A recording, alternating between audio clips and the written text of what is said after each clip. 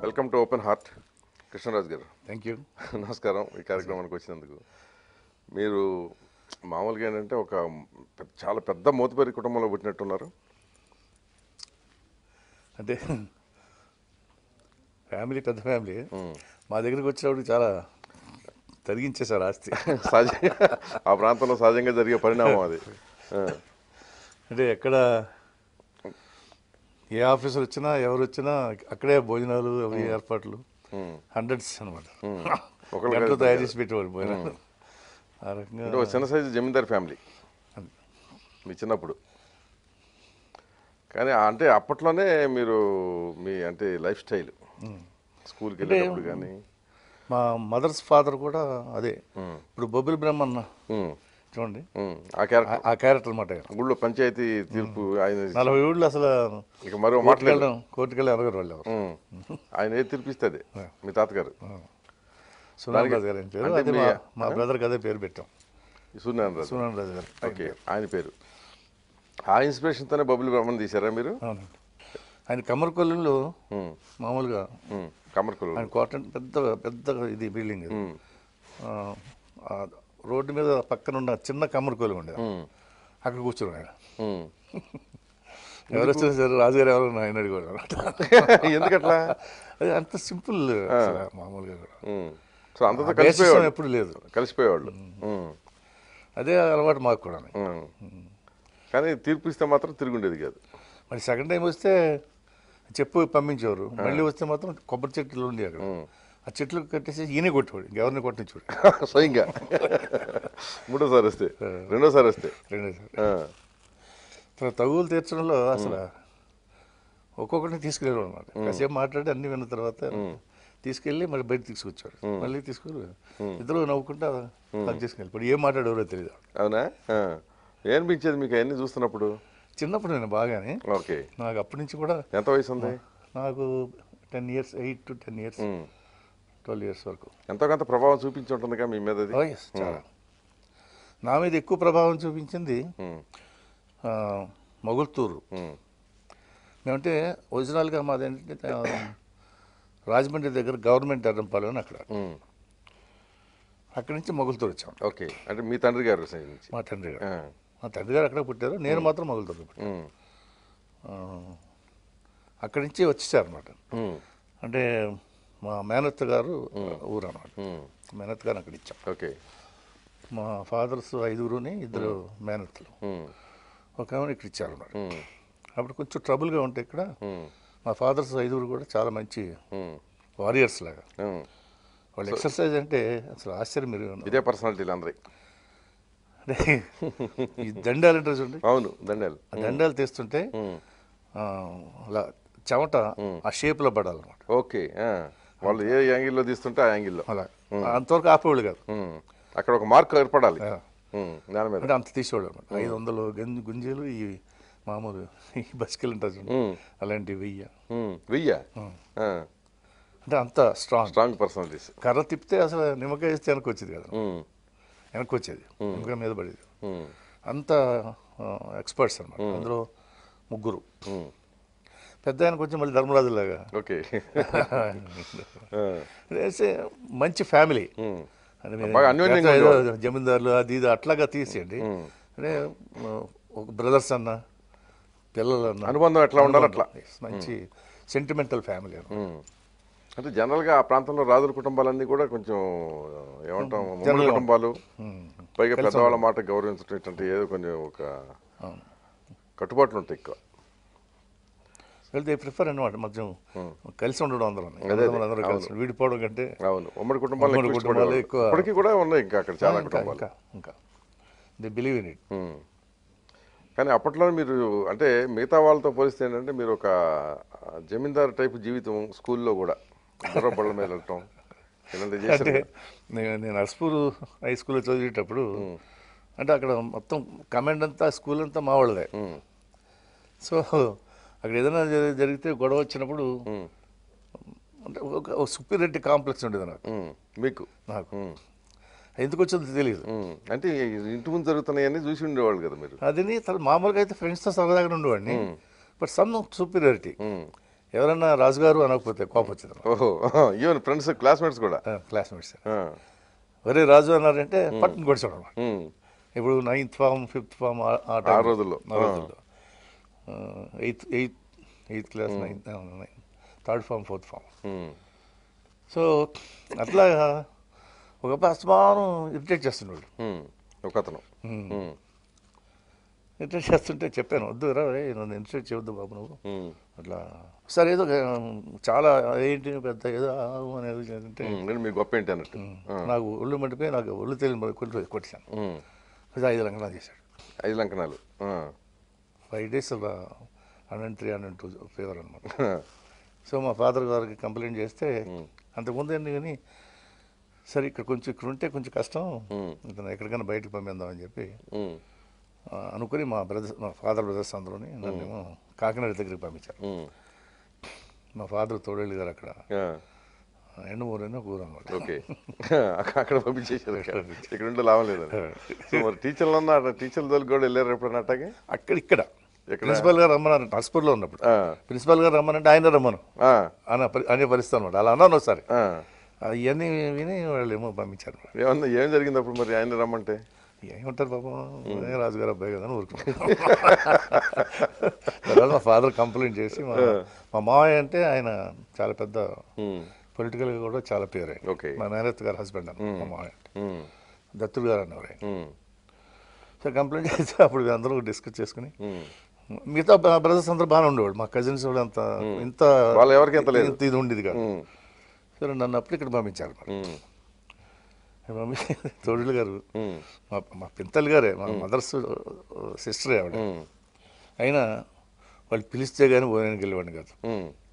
అక్కడ కూడా అహం. ఆహా లేదు. మామూలు ఊరు మహారాజు ఇంకో ఊరు ఊరితో ఊర్లో కుక్కతో సమానం ఉంటారు అవును. Same thing happen to me అంతేనా? ఒక ఊరికి కారణం ఒక ఊరికి పెట్టి అంటారు. అట్లా. అయితే ఒక ఊరు మహారాజు ఇంకో ఊరు కుక్కతో సమానం ఒకటే సమానం, అది కూడా ఉంది. అది కూడా ఉంది. కరెక్ట్ సో నేను అసలు ఎక్కడ కూడా ఇప్పుడు ఎవరిని అనడం కానీ మాట్లాడడం కానీ స్కూల్లో కూడా పూర్తిగా మెత్తపడిపోయారు. ఫుల్ అసలు సంబంధం లేదు అసలు. నేను ఎక్కడ ఉన్నాను కదా నాకేం సంబంధం లేదు. స్థానబలం పోయింది. కానీ మా పిన్ని గారు మాత్రం కొంచెం బాగా చేస్తూ ఉండేవారు. స్కూల్లో కూడా వెళ్తే అలా వెళ్ళడం చక్కగా. బుద్ధిమంతుడిలాగా. రాజు బుద్ధిమంతుడు రాని. రావణ మంచి బాలుడు అనిపించుకున్నారు. సో దాంతో మొత్తం మా లైఫ్ మార్పు టూ ఇయర్స్ ఉన్నాను అక్కడ. దాంతో ప్రపంచం అసలు అసలు ఏమిటి అనేది అంతకుముందు అంత పొగడాలు పొగడాలు అది ఇది తప్ప ఏం మాకేం తెలియదు సో అక్కడి నుంచి లైఫ్ తెలిసిపోయింది. ప్రపంచం ఇదంతా. చాలా సౌమ్యంగా మామూలుగా ఉండి ప్రపంచం నేర్చుకోవడం ఏంటి నేర్చుకోవాల్సిన చాలా ఉందని చెప్పి అప్పుడు నేను మనిషిగా నేల మీదకి వచ్చారు. అనమాట అదే నేల మీదకి వచ్చారు. ఒక రకంగా చెప్పాలంటే అంతే కదా? కానీ చదువు అంటే ఆ రకమైన మెంటాలిటీ ఉన్నప్పుడు చదువు సరిగ్గా అబ్బదు కదా? ఎందుకంటే చిన్నప్పుడు బాల్యం ఆ రాచరిక వ్యవస్థ లాంటి దాంట్లోనే ఆ పోకడలు కనిపించాయి. సో చదువు ఏమైనా అబ్బిందా మీకు అసలు? చదువు అంటే లాస్ట్ ఎగ్జామ్స్ ఇంకా ఉన్నాయి కనుక last two weeks three weeks. దాని మీద కాన్సన్ట్రేట్ చదివేవాడు అంతే అంతవరకు అసలు పుస్తకం ముట్టుకునేవాళ్ళం కాదు. క్లాస్కి వెళ్తే వెళ్ళేవాళ్ళు లేదు. ఆ తర్వాత అప్పుడు ఆ రోజుల్లో ఈ గైడ్స్ అని కొంతగా సొంతంగా వచ్చినప్పుడు అందులో ఇంపార్టెంట్ వెరీ ఇంపార్టెంట్ మీకు టిక్కులు పెట్టుకోవడం. వెరీ ఇంపార్టెంట్ ఏమో బాగా చదివేయడం. అవును. ఇంపార్టెంట్ ఏమో నాలుగైదు సార్లు చదవడం. వెళ్ళడం రాసేయడం వచ్చాడు ఆ క్వశ్చన్లు వస్తే అదృష్టం లేదు. నేను ఎప్పుడు పాస్ అయ్యాను ఎప్పుడు నేను ఫెయిల్ అవ్వాల? అవలేదు అసలు? ఓకే. ఒక్కసారి ఎస్ఎల్సీలో మాత్రం ఫెయిల్ అయ్యాను. టైఫాయిడ్ వచ్చి నాకు అప్పుడు ఈ మ్యాథ్స్లో ఆల్జబ్రా జామెంట్రీ అని కదా. అవును. అప్పుడు వచ్చిన ఆల్జబ్రా తీసుకున్నాను నేను ఫిఫ్త్ అప్పుడు నాకు బాగా ఫీవర్ వచ్చేసి టూ మంత్స్ నేను స్కూల్కి వెళ్ళలేదు. ఆల్జీబ్రా గుండె గాబరా అనేవాడు కదా. Same thing. అలాగే it happen like that so దాంతో ఎస్ఎల్సీలో మార్చుకోమంటే మార్చడానికి వీల్లేదు అన్నారు సరే అయితే ఎగ్జామ్స్కి వెళ్తాను నేను రాను ఫెయిల్ అవుతానని చెప్పి ఫెయిల్ అయిన తర్వాత మళ్ళీ నర్సుపూర్ వచ్చేసాను. నర్సుపూర్ వచ్చి అప్పుడు ఎస్ఎల్సీకి పాస్ అయ్యాను. చదువుకునేటప్పుడు సినిమాలు బాగా చూసేవాళ్ళ? చూసామండి విపరీతంగా. నాగేశ్వరరావు సినిమాలు అంటే బాగా ఓహో మీరు ఆయన ఆయనకి అభిమానే? అభిమానం అంటే ఆ సోషల్ పిక్చర్స్. ఓకే. మళ్ళీ వచ్చేటప్పుడు రామారావు గారు ఈ పౌరాణికాలు వస్తే రామారావు రామారావు గారు. ఒక్కొక్క ఫీల్డ్లో ఒక్కొక్కరు జనరల్గా నాగేశ్వరరావు సినిమాలు అంటే ఎక్కువ సార్లు చూసేవాడిని. ఉమ్, అందులో నాగేశ్వరరావు జమున కాంబినేషన్ అంటే మరి. ఏంటి అది? ఎందుకు అట్లా వాళ్ళిద్దరు సరదా నాగేశ్వరరావు గారు ఆ సిగరెట్ కాల్చడం ఆ స్టైల్ షర్ట్ ఇలా పెట్టడం అది. సమ్ న్యాచురల్గా రియలిస్టిక్గా ఉన్న ఉన్నట్టుండేది అనమాట అదే కొంచెం ఆ జమీందార్ పోకళ్ళు కూడా కనిపిస్తుండే సిగరెట్ కాల్చడం అంటే స్టైల్. స్టైల్ అదే ఆ రోజుల్లో. Attraction Student style. Student style మరి సిగరెట్లకి అట్రాక్ట్ అయ్యారా? తర్వాత మళ్ళీ మా తర్వాత మానేసాం అనుకోండి. చాలా రోజుల తర్వాత మానేసాం. సినిమా ఆర్టిస్ట్ అయిన తర్వాత మానేసాం ఓకే ఆర్టిస్ట్ అయ్యాక.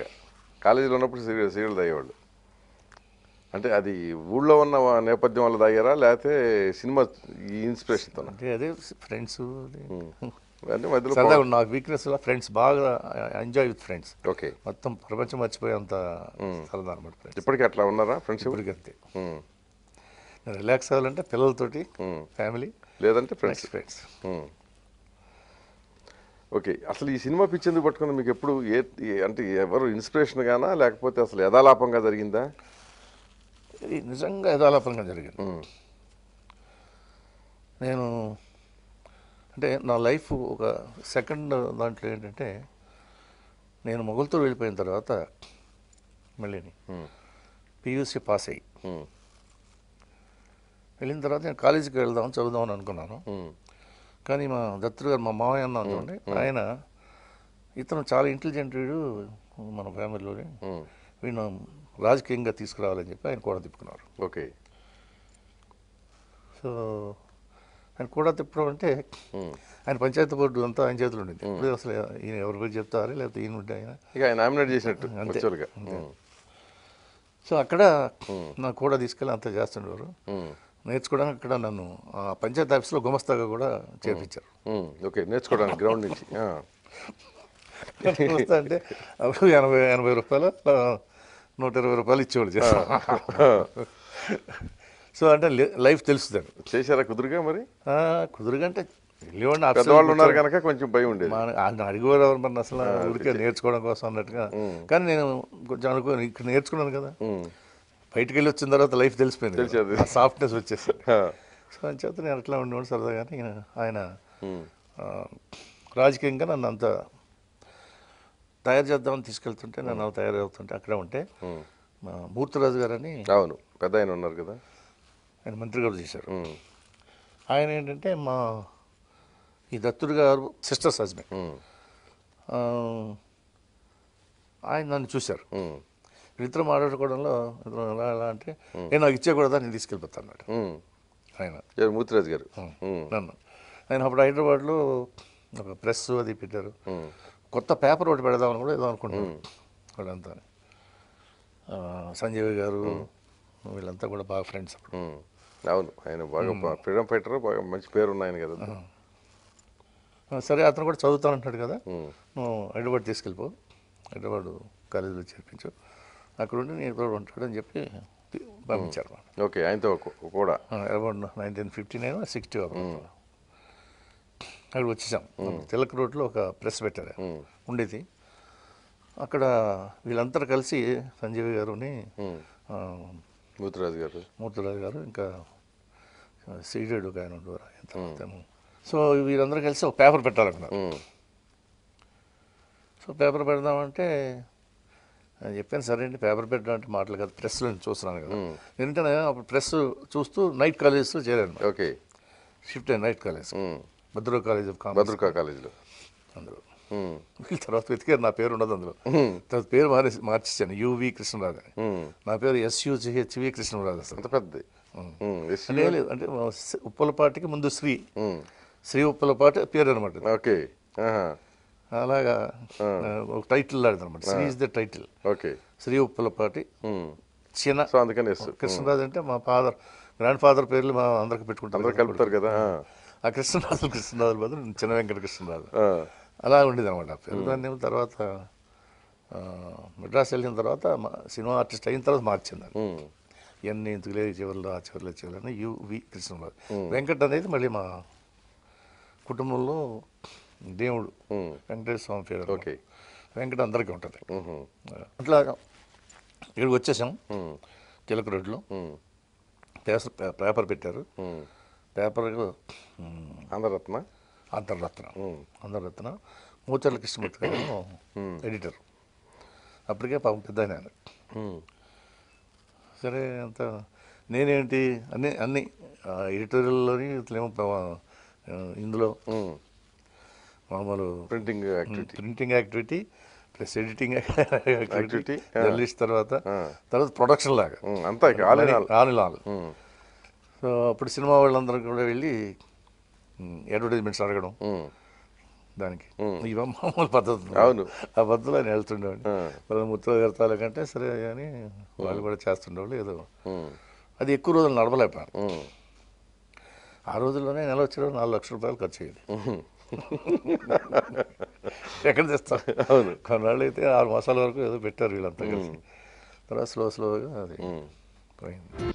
తర్వాత ప్రెస్ ఉంటూ నేను చదువుతూ ఇంకేదో చేయాలి కదా మరి వ్యాపారం చేయాలని. అప్పుడు ఈ నాకు అప్పుడు ఈ కెమెరా అంటే బాగా ఇంట్రెస్ట్. ఓకే. చిన్నప్పటి నుంచి కెమెరా. నేను పద్నాలుగు సంవత్సరంలో ఒక ఒక తీ తీస్తే ఒకటి నాకు స్టేట్ అవార్డు వచ్చింది. ఇది ఫోటో తీస్తే? మామూలుగా పిక్నిక్ అని వెళ్ళాం సార్. పిక్నిక్ అని వెళ్ళి అందరూ కూర్చున్న తర్వాత ఆ పడవలు ఇలా ఉంటాయి కదా? అవును. కత్తి పడవలు అవును తెరచాప. తెరచాప కదా. ఆ తెరచాపది ఈ ఈ బ్రి- బ్రిడ్జ్ మీద బ్రిడ్జ్ ఫోర్గుండ్లో పెట్టి ఆ తెరచాపలు పెట్టి వాళ్ళని తీసాను ఓకే. బ్యూటిఫుల్గా వచ్చింది. అంటే నాకు ఇంట్రెస్ట్ కూడా అప్పుడు. హాబీ అది బాగా. ఎంత ఇంట్రెస్ట్ అంటే ఆ రోజుల్లో హైపో అది కూడా మేము ఇక్కడ చేసి బ్యాటరీ లైట్ పెట్టి. ఎక్స్పోజ్ చేసేవాళ్ళం. ఓకే. ఈ- ఇది లేక. అవును. డెవలపర్ అయి ఉండే డెవలపర్ అదే. అంటే అప్పటి నుంచి అంత ఇంట్రెస్ట్. సో కెమెరాలు కూడా నా దగ్గర మంచి మంచి కెమెరాలు ఉంటాయి. ఈ డబ్బా కెమెరాలు అని కూడా బెస్సా? అవును. అవి లీక బెస్సా ఇవన్నీ. లీక చాలా కాస్ట్లీ అని కూడా తర్వాత మెడ్రాస్ వచ్చింది అది హైదరాబాద్ వచ్చింది తీసుకున్నాం. సో దాంతో సిక్స్టీన్ ఎంఎం పిక్చర్స్ తీద్దాం ఫోటోగ్రఫీ పెడదాం అని చెప్పి పెట్టాను అనమాట ఇక్కడ స్టిల్ ఫోటోగ్రఫీ ఎవరికైనా కావాలంటే స్టిల్స్ తీయడం. తీయించడం. ఒక మంచి చవాన్ అని ఒక ఆయన్ని. మంచి ఫోటోగ్రాఫర్ని వాళ్ళ అబ్బాయి appoint చేశారు. అపాయింట్ చేశాం తర్వాత సిక్స్టీన్ ఎం పిక్చర్స్ తీయడం. ఆ సిక్స్టీన్ ఎం పిక్చర్స్ తీయడం ఇవన్నీ ఒక బిజినెస్గా పెట్టాం అనమాట. అంటే మీరు ఒక్కళ్ళైనా ఇంకెవరన్నా పార్ట్నర్స్ ఉన్నారు దాంట్లో నేనే ఉండేవాడిని బట్ హిందే మా ఫ్యామిలీ మా ఫ్యామిలీదే ఉమ్. పార్ట్నర్స్గా వాళ్ళు ఉండేవారు కాదు వాళ్ళకి మాత్రం జీతమే కాకుండా అందులో అది కొంత ఇది కూడా ఇచ్చేవాళ్ళం బర్మన్ బిల్డింగ్స్ అని ఉండేది అక్కడ. అక్కడే అబిట్స్ దగ్గర. హ్యాబిట్స్లో ఆ, హైదరాబాద్ అబిట్స్. ఉమ్. సో అందులో పెట్టి మామూలుగా వర్క్ చేస్తున్నాడు అన్నమాట. ఆ టైంలో ఈ ఫోటోలు అయ్యి ఆయనేమో ఖాళీగా ఉన్నప్పుడు నన్ను కూర్చోబెట్టి ఫోటోలు తీశాడు. ఎవరు? ఈ చవాన్ అని. ఆయన. ఆ, ఆయన మహారాష్ట్ర అయినా చవాన్ అయినా ఇక్కడికి వచ్చేట్లేడు. అప్పట్లో ఎక్కువ చాలా మంది మహారాష్ట్ర కర్ణాటక ఆయన కూర్చోబెట్టి తీశాడు. తీసి ఒక- ఒకటి కాదు మొత్తం ఒక రోజు అంటే ముప్పై ఆరు థర్టీ ఫైవ్ వస్తాయి కదా. మొత్తం రీలు. రీలు. ఆయన ఎక్స్పోజ్ చేశాడు. చేసిన తర్వాత ఆయన చూశారు అనమాట మా అంకుల్ చూసి ఏమయ్యా నువ్వు బాగున్నా సినిమాలో ఎందుకు యాక్ట్ చేయకూడదు అన్నాడు జోక్గా. యథాలాపంగా. ఎవరు జోక్గా అన్నాడు ఆయన. నిజంగా ఆయన అన్న అన్నాలని అనలేదు. ఆయన ఉద్దేశం కూడా అది కాదు. అని నేను నవ్వేసాను అయిపోయింది. ఆ తర్వాత ఆయన్నేమో ఎవరో ప్రొడ్యూసర్స్ వచ్చి పెట్టుబడి పెట్టమంటే ఇలా ఆగిపోయింది ఇక్కడ గొడవ ఉందంటే ఆయన ఇచ్చారు. పెట్టుబడి పెట్టారు. మీ అంకుల్? అంకుల్. సో దాని దాని గురించి నేను మేము చెన్నై చెన్నై వచ్చాను. అప్పుడు మద్రాసు కదా? అవును అప్పుడు మద్రాసు. మద్రాసు వచ్చాను. ఒకటి రెండు సార్లు రావడం జరిగింది అనమాట ఏదో డబ్బులు వసూలు చేసుకోవడానికి? ఊరికే. ఏం జరుగుతుంది ఏమిటి? వసూలు అనేది ఇవ్వకపోతే పోయాడు అన్నట్టుగానే ఉండేది. కేతా గారని ఒక పెయింటర్ మంచి ఆర్టిస్ట్. సినిమాలు కూడా చేశారు ఆయన. మా ఈయనకేమో బాగా క్లోజ్ అని. ఆయన దగ్గరికి వస్తే ఆయన చెప్పేవాడు చూసేవాడు వెళ్ళిపోతుండే వస్తూ పోతుంటాడు. ఆ టైంలో ఒక ఆయన చూసి మీరు సినిమాలో యాక్ట్ చేస్తారా? సార్ అని అడిగాడు. ఎక్కడ మద్రాసులో. లేదండి ఇంట్రెస్ట్ లేదు అని వచ్చేసాను. ఆ తర్వాత మళ్ళీ హైదరాబాద్లో ఇంకొకసారి మళ్ళీ ఎప్పుడో నేను రెస్టారెంట్లో ఉన్నప్పుడు వచ్చి నేను ప్రొడ్యూసర్ అండి మిమ్మల్ని అడగ అడగలేదు. లాస్ట్ టైం అడిగాను మిమ్మల్ని మీరు కాదన్నారు. నేను ప్రొడ్యూసర్ని సినిమా స్టార్ట్ చేయదలుచుకున్నాను మీరు యాక్ట్ చేస్తారా అని అడిగాడు. మాట్లాడడానికి అర్థం లేదు. ఏ రకంగా అడుగుతున్నారు మీరు నన్ను. ఎందుకు అడుగుతున్నారు ఉమ్. "ఆ, లేదండి మీరు బాగున్నారు పర్సనాలిటీ నా ఫోటో చూడలేదు మీరు "ఆ, లేదండి తర్వాత చూశానండి లాస్ట్ టైం మీరు చెన్నైలో కలిసిన తర్వాత మళ్ళీ నేను వచ్చానండి కొన్ని స్టిల్స్ నేను చూశానండి. నాకు నమ్మకం కలగట్లేదండి అది అని వదిలేసాం. లైట్ తీసుకున్నారు. లైట్గా తీసుకున్నాం సెకండ్ టైం కానీ కొంచెం లైట్గా అంటే మరీ అంత లైట్గా తీసుకొచ్చాం ఇప్పుడు. కానీ పడింది లోపల. కొంచెం. బీజంలో బీజాలు పడ్డాయి. ఎట్లా అంటే మా ఫ్రెండ్స్ అంతా సరదా. అంటే ఇక్కడ ఒక మంచి ఇన్సిడెంట్ చెప్పాలి. ఉమ్, చెప్పాను అనుకోండి మామూలుగానే. ఇంటర్వ్యూస్లో చెప్పాను. అక్కడ చాలా స్టైలిష్గా ఉండేవాడిని స్టైలిష్గా అంటే వైట్ సూట్ వేసి five hours for BSA. Motor cycle మీద వెళ్ళాను. ఆ మోటార్ సైకిల్కి ఏమో అప్పుడు ఈ షాక్ అబ్జర్వర్స్ అలాంటివి ఏమి ఉండి కాదు ఆ రోజుల్లో. నేను తయారు చేయించా. ఫ్రంట్ బ్యాక్ షాక్ అబ్జర్వ్ చేయించి సింగిల్ సీట్ వేయించి ఫైవ్ అవర్స్ ఫర్ బిఎస్సీ బండి తయారు చేయించి అట్లా వెళ్తుంటాడు ఉమ్, ఈ సరదాగా మామూలుగా అంటే నా లైఫ్ స్టైల్ ఏంటంటే మార్నింగ్ లేచిన దగ్గర నుంచి one and half hours one hour exercise చేయడం. టెన్ థర్టీకి మళ్ళీ బ్రేక్ఫాస్ట్ ఏం లేదు. టెన్ థర్టీకి ఒక నాలుగు గుడ్లు ఆమ్లెట్ కాయగూరలు చేసి పెట్టేవాడు అక్కడ. అది చికెన్ ఏదో మటన్ నాన్ వెజ్ భోజనం చేసేవాడిని. భోజనం చేసి పనికి వెళ్ళిపోయాడిని వెళ్ళిపోయిన తర్వాత సాయంత్రం మళ్ళీ సెవెన్ థర్టీకి భోజనం ఈ లోపల మళ్ళీ ఏం లేదు. ఈ లోపల సరదా తిరుగుతాడు. ఫ్రెండ్స్ హాయిగా. ఇది చూసి మా ఫాదర్కి ఒక అతను ఒక లెటర్ రాశాడు. ఈ రోజు ఇక్కడ చెడిపోతున్నాడు హైదరాబాద్లో. హైదరాబాద్. ఆ మోటార్ సైకిల్ ఆ సూటు ఏంటి అసలు అది? లైఫ్ లైఫ్ ఏంటంటే చాలా ఇదిగా ఉంది. లెటర్ రాశాడు నాకు తెలియదు రోజు లెటర్ వచ్చింది. ఇంటి దగ్గర నుంచి పంపించారండి ఫాదర్ అన్నారు. అంటే పోస్టులు కాదు. అవును మనిషి తీసుకొచ్చాడు. ఎవరో తీసుకు తీసుకొచ్చి చూశాను ఇతను రాసిన లెటర్ అందులో పెట్టి ఇంత ఇంత కాగితం మీద రెండు మాటలు రాశారు. నువ్వు నా కొడుకువి. నీ మీద నాకు నమ్మకం ఉంది. కానీ ఇటువంటి స్నేహితులను మాత్రం కొంచెం దూరంగా ఉంచుకో. నీ తండ్రి. రాశాడండి మీరు ఆశ్చర్యపడిపోతారు ఇలాగా కళలేని మన సినిమాలో చూపిస్తారు అవును. అంతేగా ఎవరైనా అదే ఆ చదివిన రెండు లైన్లకే. రెండు లైన్లకి ఇలా అదే కాగితం మీద బడ బడ బడ కన్నీళ్ళు కారిపోయాను నేను ఇంకా అలా ఆగిపోయి అదే ఫాదర్ ఏంటి అంత నా మీద అంత నమ్మకం. వాడు ఎవడో రాసింది కొన్ని కనీసం కొంచెం కనీసం 1% ఆరా- అన్న ఆరాధిస్తారు సార్ మామూలుగా అయితే. అవును. అభిమానం ఉండొచ్చు కదా. ఏం లేదు. కానీ ఇట్లాంటి కొంచెం దూరంగా పెట్టుకోరు ఇటువంటి స్నేహితులని. ఆ మాట రాసిన స్నేహితులు. చాలా అసలు అంటే ఈజ్ అ రియల్ ఫాదర్. ఆయన చిన్నప్పటి నుంచి చెప్పారు అన్నమాట.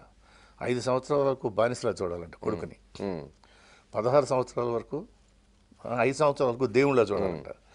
ఐదు నుంచి పదహారో సంవత్సరం పద్దెనిమిదో సంవత్సరం వరకు బానిసలా చూడాలంట ఉమ్, పద్దెనిమిది నుంచి స్నేహితులా చూడాలి. నన్ను అలాగే చూశాను పద్దెనిమిది సంవత్సరాల నుంచి. ఎప్పుడు నేను ఆ తర్వాత మళ్ళీ ఈ సినిమా కూడా వచ్చిన తర్వాత చెప్తాను ఆయన గురించి.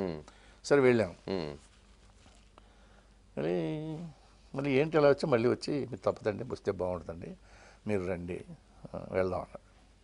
సరే నేను పలానప్పుడు ఇలాగ వస్తున్నాను కదా కేత గారి దగ్గరికి మీరు కూడా వస్తారండి అని చెప్పి. అప్పటికే నా రోయల్ ఫ్లెక్స్ కెమెరా అది అని అన్ని ఏర్పాట్లు ఉమ్. అన్నీ ఉండి నా దగ్గర అలవాటు మీ. దగ్గర ఉన్నాయి చాలా సరదా సో అక్కడ ఆయన తింతకు చూస్తే అంతకుముందు రెండు మూడు సార్లు సినిమా సినిమాలు ఆయన రెండు. సార్లు ఆయన నెల్లూరు అయింది సరే తర్వాత పాపం ఫండ్స్ లేక. నన్ను చూసి డబ్బులు పెడతాను కదా అని చెప్పి అనుకున్నాడు. ఓహో అదే అసలు ఈ విషయం. ఆ. సరే హీరోగా ఇంట్రొడ్యూస్ చేస్తే అతనే పెట్టుకుంటాడు మిగతా అన్నట్టుగా ఏదో అనుకున్నాను. ఇప్పుడు లక్షణాలు అప్పుడు ఉన్నాయన్నమాట. బాగా. సో అలాగే వెళ్ళాను నేను. అదే యాక్సిడెంటల్గా అంటున్నాను అంతే. అది సో అక్కడికి వెళ్ళిపోయిన తర్వాత నేను చెప్పాను అందరికని. ప్యాక్ చేస్తున్నాను. సరే అక్కడికి వెళ్ళిన తర్వాత పద్ధతి పరిస్థితి చూసి పద్ధతి చూసి ఖర్చు పెట్టడం అయిపోయింది హోటల్స్ గిల్స్ అంతా అయిపోయినాయి. మా ఫా అంకుల్. ఏదో చాలా తేడాగా ఉంది వాడిది. నేను చాలా చాలా జాగ్రత్తగా చూసుకున్నారు నేను కూడా వచ్చి "ఏ, లేదు వెళ్ళిపోను. ఉమ్, తీరా వచ్చిన తర్వాత హీరో గారిని వేళకోవడం వేళకోవడం కదా నిజంగా కూడా ఉండడం మొదలుపెట్టారు. కొంతమంది నిజంగా కొంతమంది వేళకోవడంగా కోపం వచ్చింది.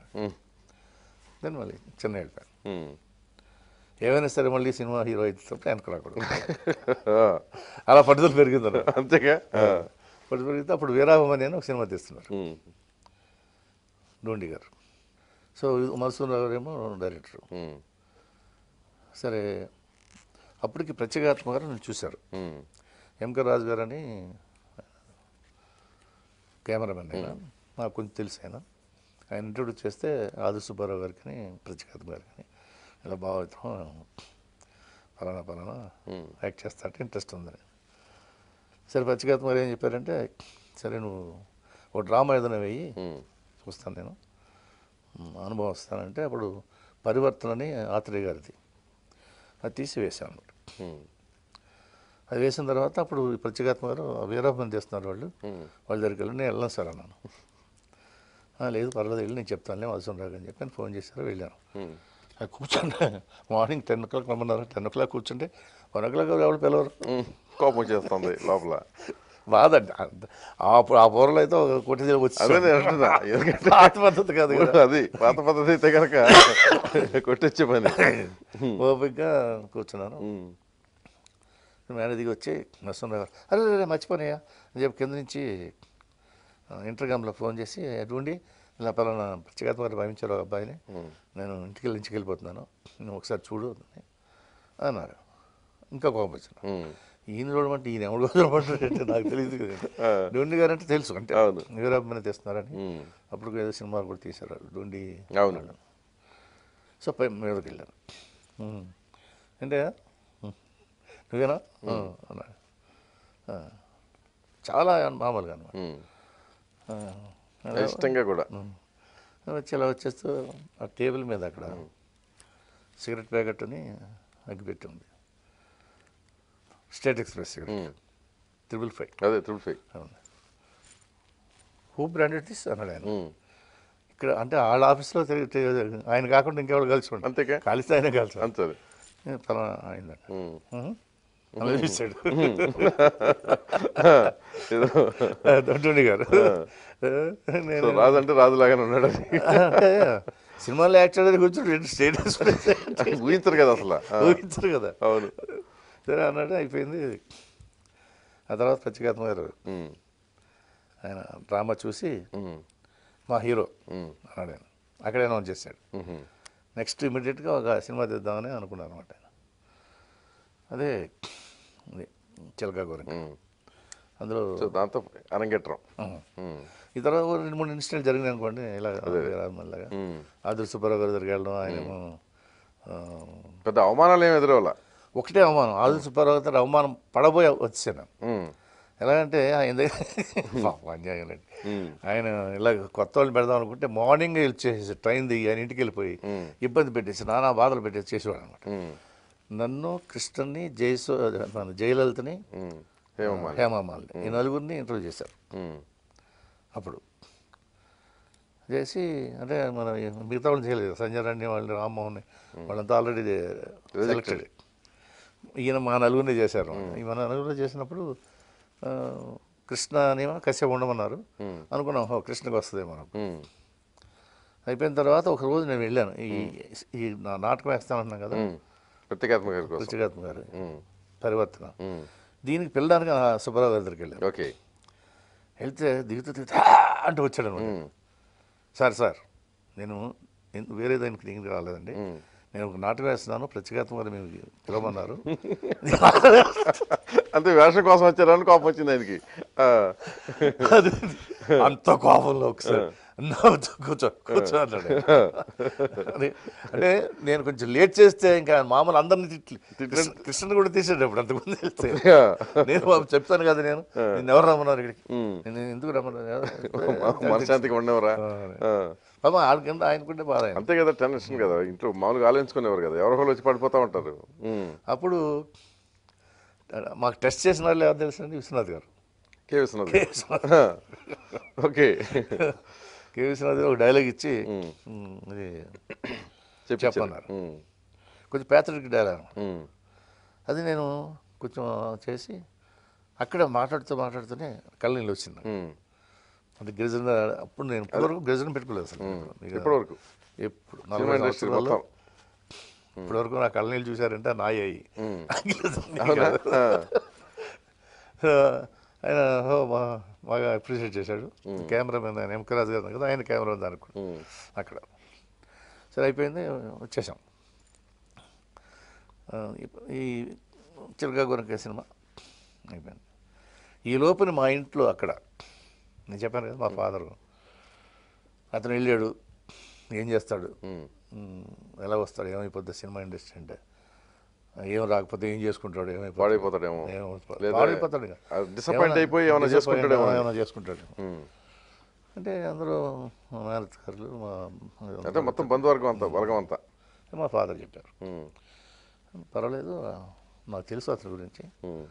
చాలా స్టబ్బండు ఇది ఏం పర్వాలేదు మనకి ప్రాబ్లం ఇంకొకసారి మళ్ళీ అడిగినప్పుడు ఏ మీకు డౌట్ ఏమన్నాని వాడు నా కొడుకు కాదని అన్నట్టుగా కోపం వచ్చింది ఉమ్. నేను చెప్తాను కదా ఇస్ మై సన్. డెఫినెట్గా వాడు ఏం చేయడు వాడు బాగుంటాడు నిలదొక్కుంటాడు అని. నేను వెళ్ళినప్పుడు వచ్చినప్పుడు ఆయనే నన్ను స్టేషన్ వరకు వచ్చి తీసుకెళ్ళి తీసుకొచ్చి ఉమ్. పంపించారు. అప్పుడు నేను ఇప్పుడు అబద్ధం చెప్పలే మనం ఊరికే ఒక రాయేస్తున్నట్టుగా వేశాను. నాకు ఏదో కోపం వచ్చి వెళ్ళాను మీరు యాక్సెప్ట్ చెప్పుకున్నారు. నేను ప్రయత్నం చేస్తున్నాను అవుద్దని నాకు నమ్మకం లేదు. కానీ ఎందుకో ఒక Gut feeling. డెఫినెట్గా అవుతాను. ఏం పర్లేదు. డోంట్ వరీ అని అలా అంతేగాని నాకు ఏదో వాళ్ళు ఇచ్చారు ఇది చేశారు ఓకే వాళ్ళు పిలిచారు పెట్టల ఇంట్లో? అసలు ఎక్కడ? ఇప్పుడు ఇప్పుడు ఎవరిని నేను అసలు నాకు అలవాటు లేదు. ఏమైనా ఉంటే మా అమ్మ చెప్పాడు. లేకపోతే ఊరుకోవడం కానీ సో అది బాగా నచ్చింది అది. సో ఎప్పటికప్పుడు. సో ఎప్పుడైతే వచ్చిందో సో అందరికీ బాగా హ్యాపీ హ్యాపీ ఫీల్ అయ్యారు. ఆ సినిమా ఫ్లాప్ అయింది. అయితే నాకు మళ్ళీ మొదలైంది. కష్టాలు. కష్టం అంటే నేనేం కష్టపడలేదండి. అంటే కష్టం అంటే వేరే కష్టాలు కాదు ఛాన్సెస్కి అంటే నాకు అప్పుడు మూడు రెండు మూడు ఫిల్మ్స్ వచ్చినాయి. మళ్ళీ Krishnakumari heroine. Krishnakumari. Krishnakumari. Heroine first picture కూడా కృష్ణకుమారి కదా. ఓకే. కృష్ణ నాకంటే ఆవిడ అప్పుడు అప్పటికే పెద్దది ఆవిడ అవును అదే అంటున్నాను. కృష్ణకుమారి మీకు హీరోయిన్ ఏంటి అని చెప్పి. ఆ. ఫస్ట్ ఫిల్మ్ ఆవిడే కదా. తర్వాత తర్వాత ఫిల్మ్ కూడా ఆవిడే. సో నేను నో అన్నాను. తర్వాత ఏమేమిలో పనిచేసే ఒక ఆయన అసిస్టెంట్ డైరెక్టర్. ఆయన ఒక సినిమా అడిగాడు లేదండి అన్నాను అంటే ఆయన సరిగ్గా నమ్మకం లేక నమ్మకం. తీస్తాడని నమ్మకం లేక సరిగ్గా మా ఫ్రెండ్స్ అందరూ మీటింగ్లు పెట్టి చేసి ఏంటి నువ్వు అసలు నీ ఉద్దేశం ఏంటి అంటే వెళ్ళిపోతాను పని ఏం? నీ నీ ఫ్యూచర్ ఏంటి నా ప్లాన్ నాకు ఉంది. మీరు మీకు ఓపిక ఉంటే నేను ఏమనుకుంటున్నానో ఏం చేద్దాం అనుకుంటున్నానో నా ప్లాన్ ఏంటో అంతా చెప్తా. మీకు అంత ఓపిక ఉండదు సరదా కూర్చొని మాట్లాడుకుని వెళ్ళిపోతారు తప్ప. సలహాలు ఇస్తారు కానీ రియలిస్టిక్గా ఏంటి. అనేది మీరు ఆలోచించి మీరు నాకు సలహా చెప్పరు. అంచేత నేను మీ మాట వినే పరిస్థితులు లేను నేను విన్నాను.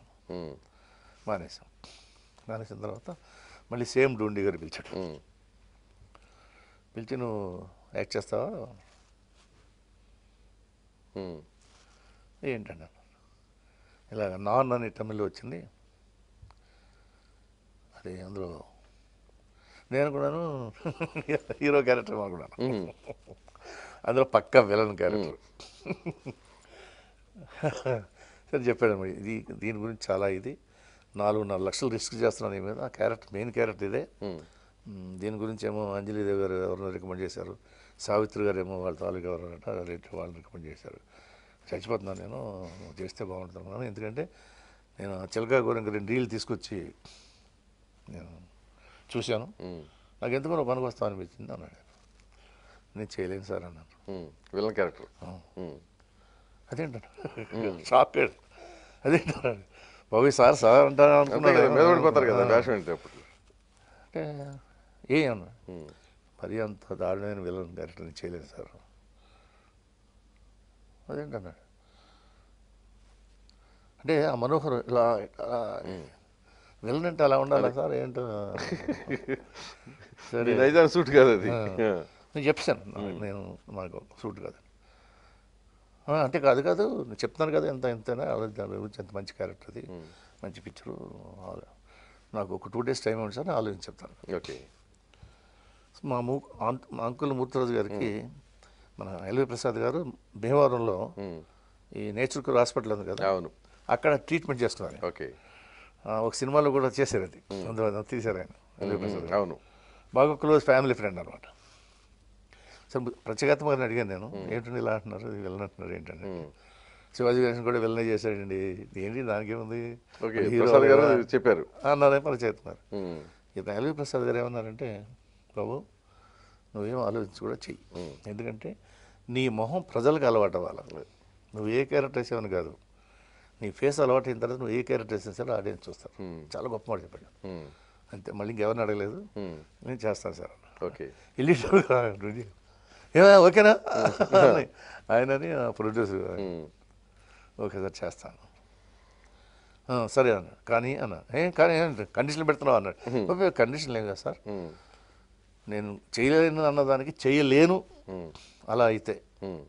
కానీ "ఆ, మరి ఎలా? ఎలా చేస్తావు? ఏంటన్న? ఉమ్, అంటే నేను బాగా అప్రిషియేట్ చేసామని మేము సినిమాలు చూసినప్పుడు ఆర్ నాగేశ్వరరావు అని ఏమి పెద్ద కళ్ళు ఎగరేసి ఇలా అలా చేసి చేసేవాడు కాదు. చాలా న్యాచురల్గా ఉండేది. చాలా బాగుండేదండి.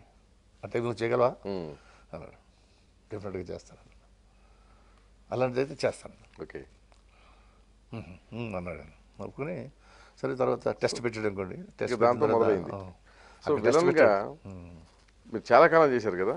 మీకు బాగా వాటిలో మీరు మీ అంటే మీకు సంతృప్తి ఇచ్చినవి కానీ లేదా మీరు ప్రజల ప్రేక్షకులకి బాగా రంజింపజేసినవి కానీ ఆ క్యారెక్టర్లు ఎన్ని ఉన్నాయి? అవి చెప్పండి. మీకు బాగా పేరు తెచ్చిన క్యారెక్టర్లు విలన్ క్యారెక్టర్లు. అదే నేనంటే నేనే సినిమా అది. First villain picture. After two years ఆ సినిమా అయిన తర్వాత. ఈ మధ్యలో నేను యాక్టింగ్ గురించి నాకేం తెలియదు అని నేర్చుకున్నాను అనుకోండి. ఓకే. ఆ తర్వాత నేనంటే నేనే సినిమా చేశాను. దానికి మంచి పేరు వచ్చింది.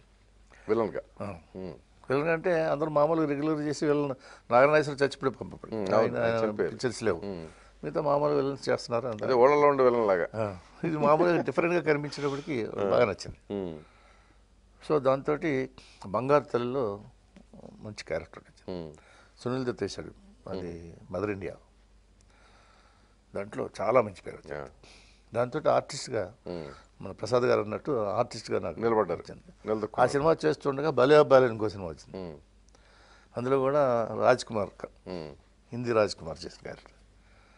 సో వరుసగా అలాగా మంచి మంచి పిక్చర్లు పడి అంటే నెగిటివ్ క్యారెక్టర్స్. అదే నెగిటివ్ క్యారెక్టర్స్. మంచి పెర్ఫార్మెన్స్ ఉన్న క్యారెక్టర్స్ నెగిటివ్ క్యారెక్టర్ మంచి దొరికినాయి. మంచి దొరికినాయి. అందులో పెర్ఫార్మెన్స్ కూడా బాగా చేసేటాడు మంచి పేరు వచ్చింది.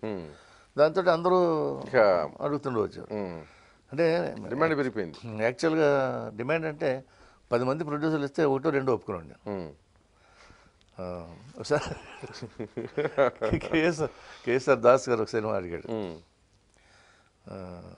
విలన్ క్యారెక్టర్ చేయాలి ఏంటి క్యారెక్టర్ అన్నాను ఉమ్, విలన్ క్యారెక్టర్ అన్నాడు. క్యారెక్టరేషన్ అంటే లేదా అన్నాడు. లేదన్నా లేదన్నాడు.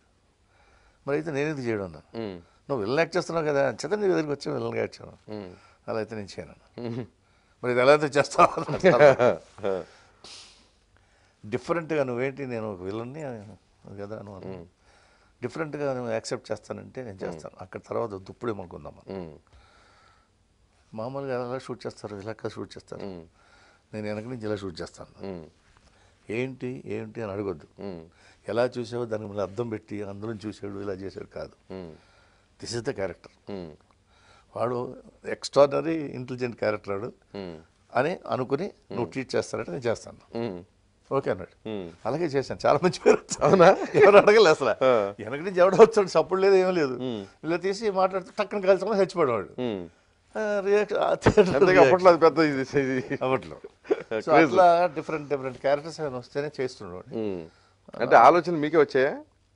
నేను ఆలోచించాను ఓకే ఇదే పని ఇంక వేరే పని లేదు ఇంకా.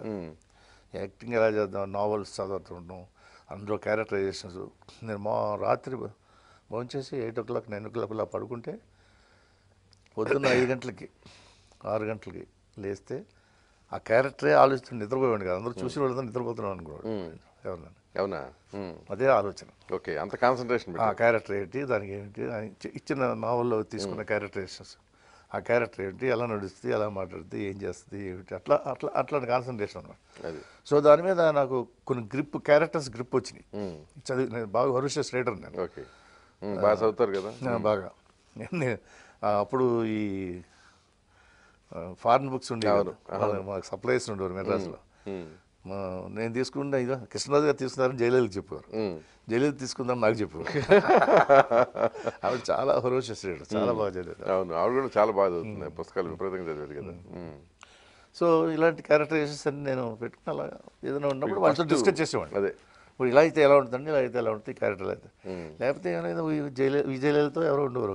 ఇంకో ఎవరో ఇంకో ముగ్గురు ఆర్టిస్టులు ఉండేవారు. వాళ్ళేమో త్యాగరాజు. కాదు.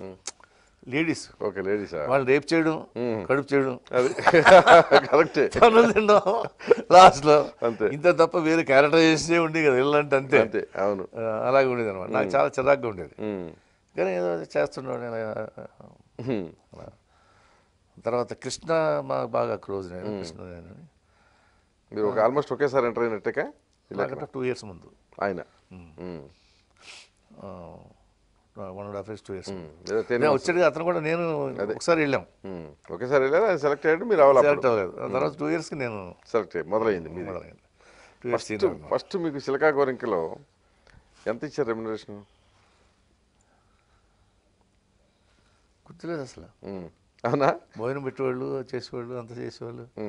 రెమ్యునరేషన్గా ఏమో అసలు. అంటే మీకు అంటే నేను ఎందుకు అడిగానంటే మీ ఆర్థిక స్థితి ఉన్నతమైంది కనుక వాళ్ళు ఏదైనా తక్కువ ఇచ్చుంటే కనుక చిరాకు పడి ఉండి ఉండాలి కదా అని. అవే వాస్తవం మాట. చాలా ఫ్యామిలీలో ఉండేవాళ్ళు. ప్రొడ్యూసర్స్ ఇద్దరు అంటే అసలు మీకు డబ్బు అవసరం కూడా లేదు అప్పుడు? అంటే వీళ్ళు అంత మొత్తం భోజనాలు ఇంట్లో చేస్తున్నారు. డబ్బు కూడా అంత అవసరం ఉండదు కదా. అక్కడ హైదరాబాద్ కదా తీసింది అంతా. హైదరాబాద్లో ఉండేవాళ్ళమే హైదరాబాద్ మాకు పెద్ద అంటే డబ్బుల గురించి పెద్ద అసలు ఆలోచించలేదు అసలు. ఆ తర్వాత పిక్చర్స్కి బంగారు తలకు కూడా పెద్ద ఏమీ నేను అనుకోలేదు. రెండు మూడు సినిమాలు. ఆ తర్వాత seven thousand five hundred ten thousand అని ఇచ్చేవాళ్ళు. అందులో కొంత ఇచ్చేవాళ్ళు కొంత చెక్కులు ఇచ్చేవాళ్ళు. కొన్ని పోయి ఇచ్చారంటే పోయినట్టు కదా? ఇస్తారని వాళ్ళు నేను పట్టించుకున్నాను కదా. ఎంత ఉంటే అంత నాకేమో పెద్ద అలవాట్లు ఏమో ఉండేవి కదా. సిగరెట్ అప్పటి నుంచి ఒకటి ఏంటంటే నేను నేను నా మంచిని నేను పట్టుకెళ్ళాలి. నా భోజనం నేను పట్టుకెళ్ళాలి. నా సిగరెట్ నేను కాల్చుకోవాలి. ఎప్పుడు ఎవరిని అసలు. మీ డ్రింక్ మీరు తీసుకోవాలి అంతేనా? అది కూడా? మీ డ్రింక్ మీరు తీసుకోవడం నేను ఎప్పుడైనా ప్రొడ్యూసర్కి ఇచ్చేవాడు కానీ నేను ఎప్పుడు ప్రొడ్యూసర్ వస్తుంది ఇప్పుడు మీరు ఆఫర్ చేయటమే. నేను ఆఫర్ చేయడం ఇంటికి వచ్చినప్పుడు అదే ఫ్యామిలీ బ్యాక్గ్రౌండ్ ఆ ఇన్ఫ్లుయెన్స్ అంటే నాకు అలా ఉండేది అనమాట ఎందుకు? జనరల్గా కూడా ఏంటంటే నా పెట్రోల్ నా కార్లో పెట్రోల్ కొట్టిస్తానంటే ప్రొడ్యూసర్ అది నీ కారా నా కారా అని అన్నాను "ఆ, నీ కారే సార్. నా కార్లో నువ్వు కొట్టించినట్టు పెట్రోల్. నామోషి కదా. అందరూ అడుగుతున్నారు సార్. అంటే అందరూ అడిగితే వాళ్ళకి ఇవ్వయ్యా. నాకు వద్దు నాకెందుకు? నా కారు లేకపోతే నేను కారు మెయింటైన్ చేయడం మానేస్తా. చేత కాకపోతే. చేత కాకపోతే. నా కారు నువ్వు కొట్టండి అట్లా ఉండదు అట్లా మొదటి నుంచి ఇది ఒక పద్ధతిగా అంటే ఆ కుటుంబ నేపథ్యం అంటున్నాను. నేనంటే నేను నాకు ఇన్సిడెంట్ గుర్తుంది.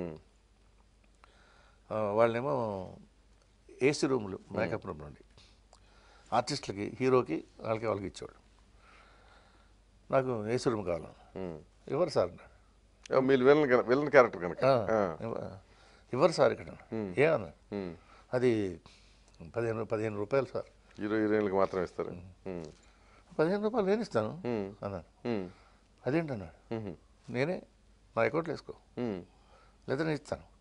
నాకు ఏసీ రూమ్ ఇయ్యి. సిగరెట్లు. నేను అడిగినప్పుడు. అకౌంట్లో వేసుకో. నేను బత్తారసం తాగుతాను. ఇవ్వరు సార్ ఇక్కడ. నా అకౌంట్? అకౌంట్లో వేసుకో. సో ఏ లెక్క లాస్ట్కి ఏమైనా వచ్చేది అసలు? అది అకౌంట్ ఏం పెద్ద ఏముందండి ఊరిక. అదే. చెప్పడం కానీ ఇదంతా అయ్యి ఖర్చే ఉంటుంది అవును ఇప్పుడు మనం సిగరెట్ పెట్టి తెచ్చుకుంటాం ఎలాగ మన చేతిలో ఉంటుంది? సిగరెట్ పెట్టి ఉంటే కా- ఇస్తాడు కాల్స్తాడు లేకపోతే కాఫీలు టీలు ఎలాగా మనం తెచ్చుకో వాళ్ళే ఇస్తే ఇస్తారు కాఫీలు అలవట్లేదు నాకు. టీ ఇంకా కాఫీ అలవట్లేదు. ఇది మొత్తం దొండి గారికి తెలిసి ఉమ్. "ఉహుం, ఇవ్వండి.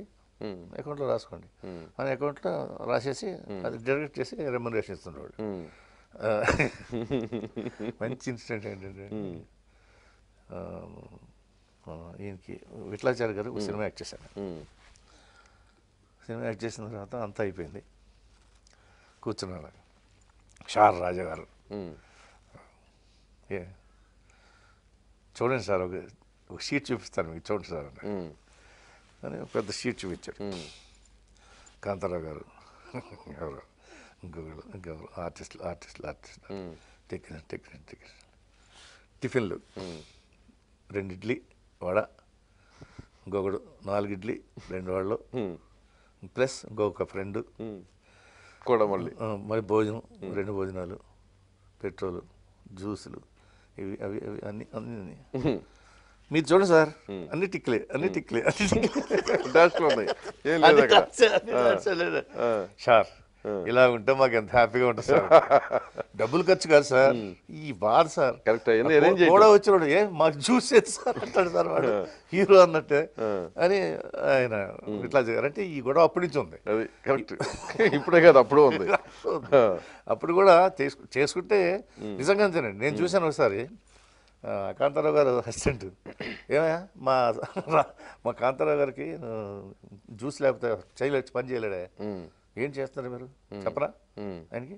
డ్యామ్ డమ్ కేకలేస్తాడు ఉమ్, ఎవరిని? ప్రొడ్యూసర్ని. ప్రొడ్యూసర్ చీ అనిపించింది నాకు. దరిద్రం అనిపించింది. అంటే అంటే ఖర్చు తక్కువే.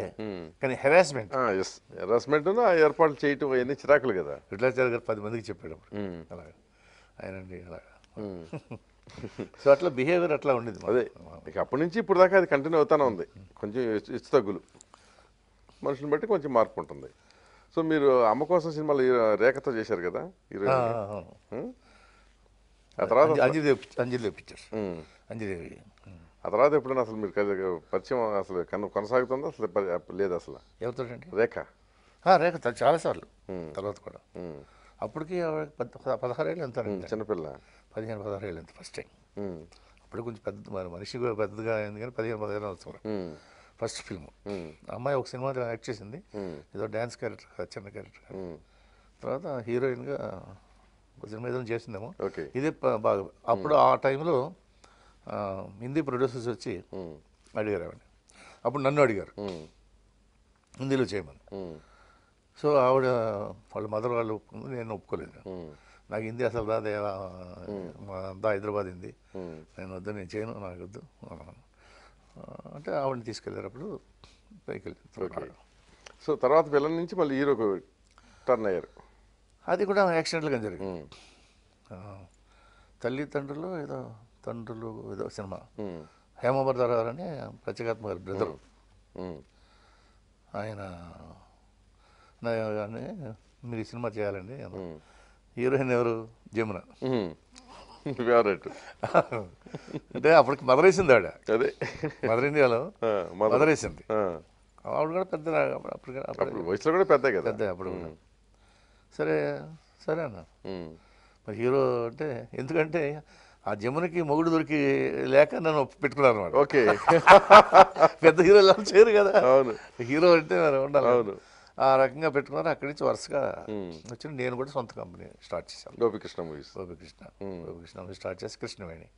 ఆ కృష్ణవేణిలో కూడా నేనే హీరోగా చేయలేదు. మీరు చూసే ఉంటారు హీరోయిన్ సబ్జెక్ట్ తీసుకుని ఫస్ట్ ఫిల్మ్. అంత హీరోయిన్ ఓరియంటెడ్ కదా నావల్ ప్రొడ్యూసర్గా మంచి పిక్చర్ తీయాలి. నా టేస్ట్ ఏంటో చూపించాలని చెప్పి. ఆ సినిమా తీసినప్పుడు అందరూ అన్నారు అనుకోండి ఐపీడీ తోటి యాంటీ సెంటిమెంట్ తీస్తున్నాడు అవునా? బట్ గోపికృష్ణ బ్యానర్ కింద తీసిన చాలా సినిమాలు అయినాయి కదా? అన్నీ ఇట్టే. ఏదో మధుర స్వప్నంలో ఏదో ఒకటి మంచి కానీ. బట్ జనరల్గా అసలు పాపులర్ బ్యానర్ అంటే సక్సెస్ఫుల్ బ్యానర్ ముద్దపడింది సక్సెస్ఫుల్ బ్యానర్ని నన్ను రెబల్ స్టార్ రెబల్ స్టార్ అని ఇది ఫైట్లకే పనికొస్తాడు అనకుండా ఉండడానికి. నేను డైవర్ట్ చేసుకోవడానికి ఇండస్ట్రీని కూడా స్టోరీస్ నుంచి కొంచెం డైవర్ట్ చేయడానికి డిఫరెంట్ క్యారెక్టర్స్ అనుకుని చేశాను. డిఫరెంట్ స్టోరీస్ డిఫరెంట్ క్యారెక్టర్ అసలు రెబల్ స్టార్ ఎందుకు వచ్చింది మీకు? క్యారెక్టర్లు వద్దు అవన్నీ చేస్తాం కదా మొత్తం కళ్ళే చేయడం. ఓకే అదే. ఫైట్లు నిప్పులు గురిపీయటం. సో అలా అలాగా అవ్వకుండా ఉండడం కోసం అమరదీపం తీశాను. ఉమ్. రాఘవేంద్రలో ఫస్ట్ టైం మా బ్యానర్లో చాలా పెద్ద సక్సెస్ అయింది. ఆ తర్వాత మళ్ళీ భక్తి కన్నం అనుకుంటే తర్వాత భక్తి కన్నం తర్వాత భక్త కన్నప్ప ఒకటి భక్తి కన్నప్పుడు చాలా బాగా హిట్ అయిందిగా. ఉమ్. అవుట్డోర్లో సెట్స్ చేసి తీసాం. అవును. పురాణం. ఒక దానికి ఒక స్టోరీ అనుకోండి. ఒకదానికి ఒక ఎక్స్పీరియన్స్ కూడా. ఎక్స్పీరియన్స్ బట్ వాటిలో ఇట్లా కూడా మీరు సంపాదించారు కానీ నష్టపోలా అంటే ఇప్పుడు మీరు నేను పెరిగాను. మా కంపెనీ పెరిగింది. అంటే ఇండస్ట్రీలో ఉన్నప్పుడు. ఉచ్చ దశకి వెళ్ళారు చాలా సంవత్సరాలు నిలబడ్డారు కదా? చాలా సంవత్సరాలు నిలబడ్డారు. ప్లస్ చాలా లిబరల్గా డబ్బు విషయంలో కూడా చాలా లిబరల్గా ఉంటారు. తాండ్ర పాపారాడు ఖర్చు పెట్టి- పెట్టిన దానికి. అది వచ్చిందనుకోండి నష్టం లేదు దానికి. బట్ మిగతా అంత ప్రాఫిట్స్ లేదు దాంట్లో. But negative hundred years negative కదా అది. ఇప్పటికీ నాటికి కూడా. అవును. అట్లాంటి సో అంటే ఒక ఏమంటాం మనం ఒక జమీందారు బిడ్డలాగే బతికారు. మామూలు మిగతా వాళ్ళకి భిన్నంగా. డబ్బు విషయంలో కాదండి మనసు విషయంలో నేను చాలా రిచ్ అంతేనా? డబ్బు విషయంలో కదా? ఇప్పుడు అని కాదు నేను చెప్పేది? అప్పుడు. ఎప్పుడైనా అంతేనండి ఎప్పుడైనా అంతే ఎప్పుడు బ్యాంకులో లక్షలు కోట్లు ఉండడం. మా అప్పుడు ఫ్యామిలీలో కూడా ఎప్పుడు ఇంట్లో ఇలా బీరో తీస్తే డబ్బులు రావడం అలాంటిది ఏమీ లేదండి. రావడం ఖర్చు పెట్టడం రావడం ఖర్చు పెట్టడం ఎప్పుడు. మళ్ళీ రేపు ఏదో కావాలా ఎక్కడ ఉన్నాయి చూడండి ఎవరితో పట్టండి ఏదో చేయండి. అన్నట్టే తప్ప. తీసేసి ఖర్చు పెట్టడం అనేది చిన్నప్పటి నుంచి అప్పుడు కూడా లేదు. ఖర్చు. అంటే రాబడి సంగతి ఆలోచించకుండా ఖర్చు పెట్టడం. ఖర్చు మీద అలవాటు అలవాటు అదే అట్లాంటి లక్షణాలు ఉన్నప్పుడు సినిమా ఇండస్ట్రీలో ఆకర్షణలు ఎక్కువ ఉంటాయి కదా. హీరోయిన్లు అంటే ఇతను ఏదో ఇతను ఏదో బాగా గిట్టుబాటు అవుతుంది అట్లాంటి ఆలోచన ఏం చేయలేదు ఎవరు విషయంలో? అంటే వాడి ఉద్దేశం ఉందాం కానీ నాకు ఉద్దేశం ఉండేది కాదు. ఏం చేద్దంటే అంటే నేను మా మీద నేను ఏదో ఎగ్జాజరేషన్. ఎక్కువ చెప్పుకున్నాను అనుకోకపోతే నేను ఇంటి దగ్గర నుంచి బయలుదేరిన తర్వాత కారులో స్టూడియోలో దిగే వరకు నేను కృష్ణరాజు. దిగి మేకప్ చైర్లో కూర్చొని మేకప్ స్టార్ట్ చేసిన దగ్గర నుంచి నేను కృష్ణరాజుని కాదు రియల్. మా మిస్సెస్ ఏమైనా చెప్పి మీరు దిగి కారు పంపించండి లేదా ఏదో పంపించండి అంటే మళ్ళీ మేకప్ తీసినప్పుడే గుర్తొచ్చింది. మళ్ళీ మేకప్ అరే రే కారు అప్పటికంటే ఎయిట్ అవర్స్ టెన్ అవర్స్ అయిపోయింది. అయిపోయేదిగా పాపం. అంటే అది కాన్సన్ట్రేషన్ అనండి డెడికేషన్ అనండి ఏమన్నానండి మీరు? నాకు మాత్రం ప్రపంచం అసలు జ్ఞాపకం ఉండేది కాదు. ఓకే ఏ విషయం ఆలోచించేవాడిని కాదు. మధ్యలో పుస్తకాలు చదవడం ప్యాకెట్లు ఆడుకోవడం అది చేయడం ఇది చేయడం అసలు ఎప్పుడు అలవాట్లేదు. ఎవరైనా ఫ్రెండ్స్ వస్తే మాట్లాడడం చేయడం ఖాళీగా ఉంది వాళ్ళు ఒక గంట రెండు గంటలు షూటింగ్ లేదంటే సరదా మాట్లాడుకోవడం తప్ప ఎప్పుడు కూడా డైవర్ట్ అయ్యేవాడిని కాదు. ఆ తర్వాత నేను డ్రింక్ చేయడం అలవాటే. ఎప్పుడు ఫార్టీ ఇయర్స్ నుంచి. బట్ ఎప్పుడు కూడా నేను నాలుక మడతపడడం కానీ. కాలు తోలడం కానీ నా ఫ్రెండ్స్ కానీ నా నోరు ఎప్పుడు నలభై సంవత్సరాలు ఎవరు చూడలేదు. చూస్తే నేను కొన్ని కోట్లు ఇస్తాను కూడా. అనౌన్స్ చేశారా? సార్ సో ఎవరికి సంపాదించలేకపోయారు. ఎందుకంటే నేను మామూలు నాకు ఐ మీన్ లిమిట్. అదే వచ్చిన తర్వాత కష్టపడుతున్నాం చేసిన తర్వాత కొంచెం రిలాక్స్ అవ్వడానికి వెళ్ళగానే ఒక డ్రింక్ వేసుకోవడం స్నానం చేయడం ఇంకో డ్రింక్ టేబుల్ మీద తీసుకోవడం పడుకోవడం. ఫ్రెండ్స్ ఎవరైనా వస్తే ఆ- టైంలోనే కాసేపు కూర్చోవడం మాట్లాడుకోవటం. అంతే. ఎప్పుడైనా ఎప్పుడైనా అవుట్డోర్కి వెళ్ళినప్పుడు షూటింగ్కి వెళ్ళినప్పుడు ఖాళీగా ఉన్నప్పుడు ఎప్పుడైనా ఉంటే one hour two hours three hours ఫ్రెండ్స్తో కూర్చోవడం సహజ- సహజంగా ఉండేదే కదా అది. తర్వాత ప్యాకెట్ కూడా ఎప్పుడు సరదాగా వాళ్ళతో ఆడేవాడిని కానీ నాకు ఇంట్రెస్ట్ ఉండేది కదా. ఓకే. నేను అనుకోండి అనమాట అయ్యా ప్యాకెట్ మీద కాన్సన్ట్రేషన్ కానీ మామూలుగా రాదు. ఇంకో కథ ఆలోచించుకొచ్చా కాదు రాజులకి ప్యాకెట్ బాగా ఎక్కువ అలవాటు కదా. అంటే మా ఫ్యామిలీలో బాగా ఎక్కువ అలవాటు. అదే మామూలుగా అసలు అలవాటు అంటే అంటే విచిత్రం చెప్తున్నాను మీకు. ప్యాకెట్ చిన్నపిల్లలు ఎనిమిది సంవత్సరాలు పది సంవత్సరాలు ప్యాకెట్ ఆడేవాళ్ళు. అరవై సంవత్సరాలు పెద్దోళ్ళు కూడా ప్యాకెట్ ఆడేవాళ్ళు. అదే అక్కడ వాళ్ళు అసలు తప్పులేదు అది. తప్పు కాదు అది. కానీ పండుగ వచ్చింది అనుకోండి రాత్రి పగలు ఆడేసేవాళ్ళం. ఆ తర్వాత ఎప్పుడైనా ప్యాక్ ముక్క సరదాగా చూద్దామంటే దొరికింది కాదు. మీరు తర్వాత సినిమాలతో పాటు వ్యాపారంలో కూడా దిగారు కదా? అప్పుడు హైదరాబాద్లో ఉన్నప్పుడు. గ్రానైట్ ఇండస్ట్రీ ఒకటి తర్వాత. సినిమా నుంచి. సినిమా వచ్చిన తర్వాత ఏదైనా చేయాలని ఇండస్ట్రీ నేను పెట్టాలనుకున్నప్పుడు గ్రానైట్స్ పెట్టాం కానీ అది సక్సెస్ కాలేకపోయారు కదా? సక్సెస్ అంటే అప్పటి నుంచి ఇప్పటి వరకు నేను ఎప్పుడు ఆపలేదండి రన్ అవుతాను. ఇప్పుడు నడుస్తుందా?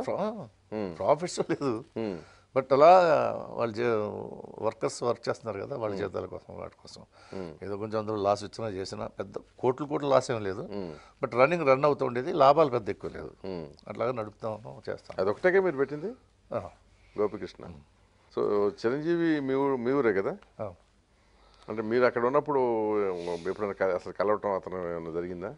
లేదు తక్కువ అండి మా బ్రదర్కి వాళ్ళకి తెలుసు కానీ అంటే మీ తమ్ముడికి? నేను హైదరాబాద్. మా హైదరాబాద్ వచ్చేసాను. మా వాళ్ళందరికీ తెలుసు అంత తర్వాత అదే సిక్స్ సెవెన్ ఇయర్స్ డిఫరెన్స్ ఉంది అతనికి నాకు. నేను హైదరాబాద్ వచ్చేసిన తర్వాత చెన్నై మెడ్రాస్ వచ్చిన తర్వాత హైదరాబాద్ ముందు ముందు హైదరాబాద్ వచ్చాను కదా. అవును. అక్కడి నుంచి అప్పుడు అతను అక్కడ ఉండేవాడు అనమాట. వాళ్ళ తాతయ్య గారి దగ్గర ఉండేవాడు. అమ్మ దగ్గర వాళ్ళ అమ్మ- దగ్గర. అమ్మమ్మ వాళ్ళు. కానీ ఎప్పుడు కలవరా మీరు? అక్కడ కలవలేదు. చెన్నైలోనే. ఊళ్ళో తెప్ప ఊరు ఒకే ఊరు కానీ తెలియదు ఒకరికొకళ్ళు. అంటే అతను నేను అక్కడి నుంచి వచ్చేటప్పటికి ఇతను అక్కడ ఉన్నాడు కొన్నాళ్ళు. ఎప్పుడు అక్కడ ఉండేవాడు కాదనుకుంటాను. నర్సుపులో చదువుతుండేవాడు అక్కడ కలవడం ఎప్పుడు లేదు. వీళ్ళ ఫాదర్ గ్రాండ్ ఫాదర్ మాత్రం నాకు బాగా తెలుసు. ఓకే బూతుల నాయుడు గారు అనేవాళ్ళు మేము. బూతుల రైడా బూతుల నాయుడు. అదే బూతుల రాయుడు నాయుడు నాయుడు. నాయుడు.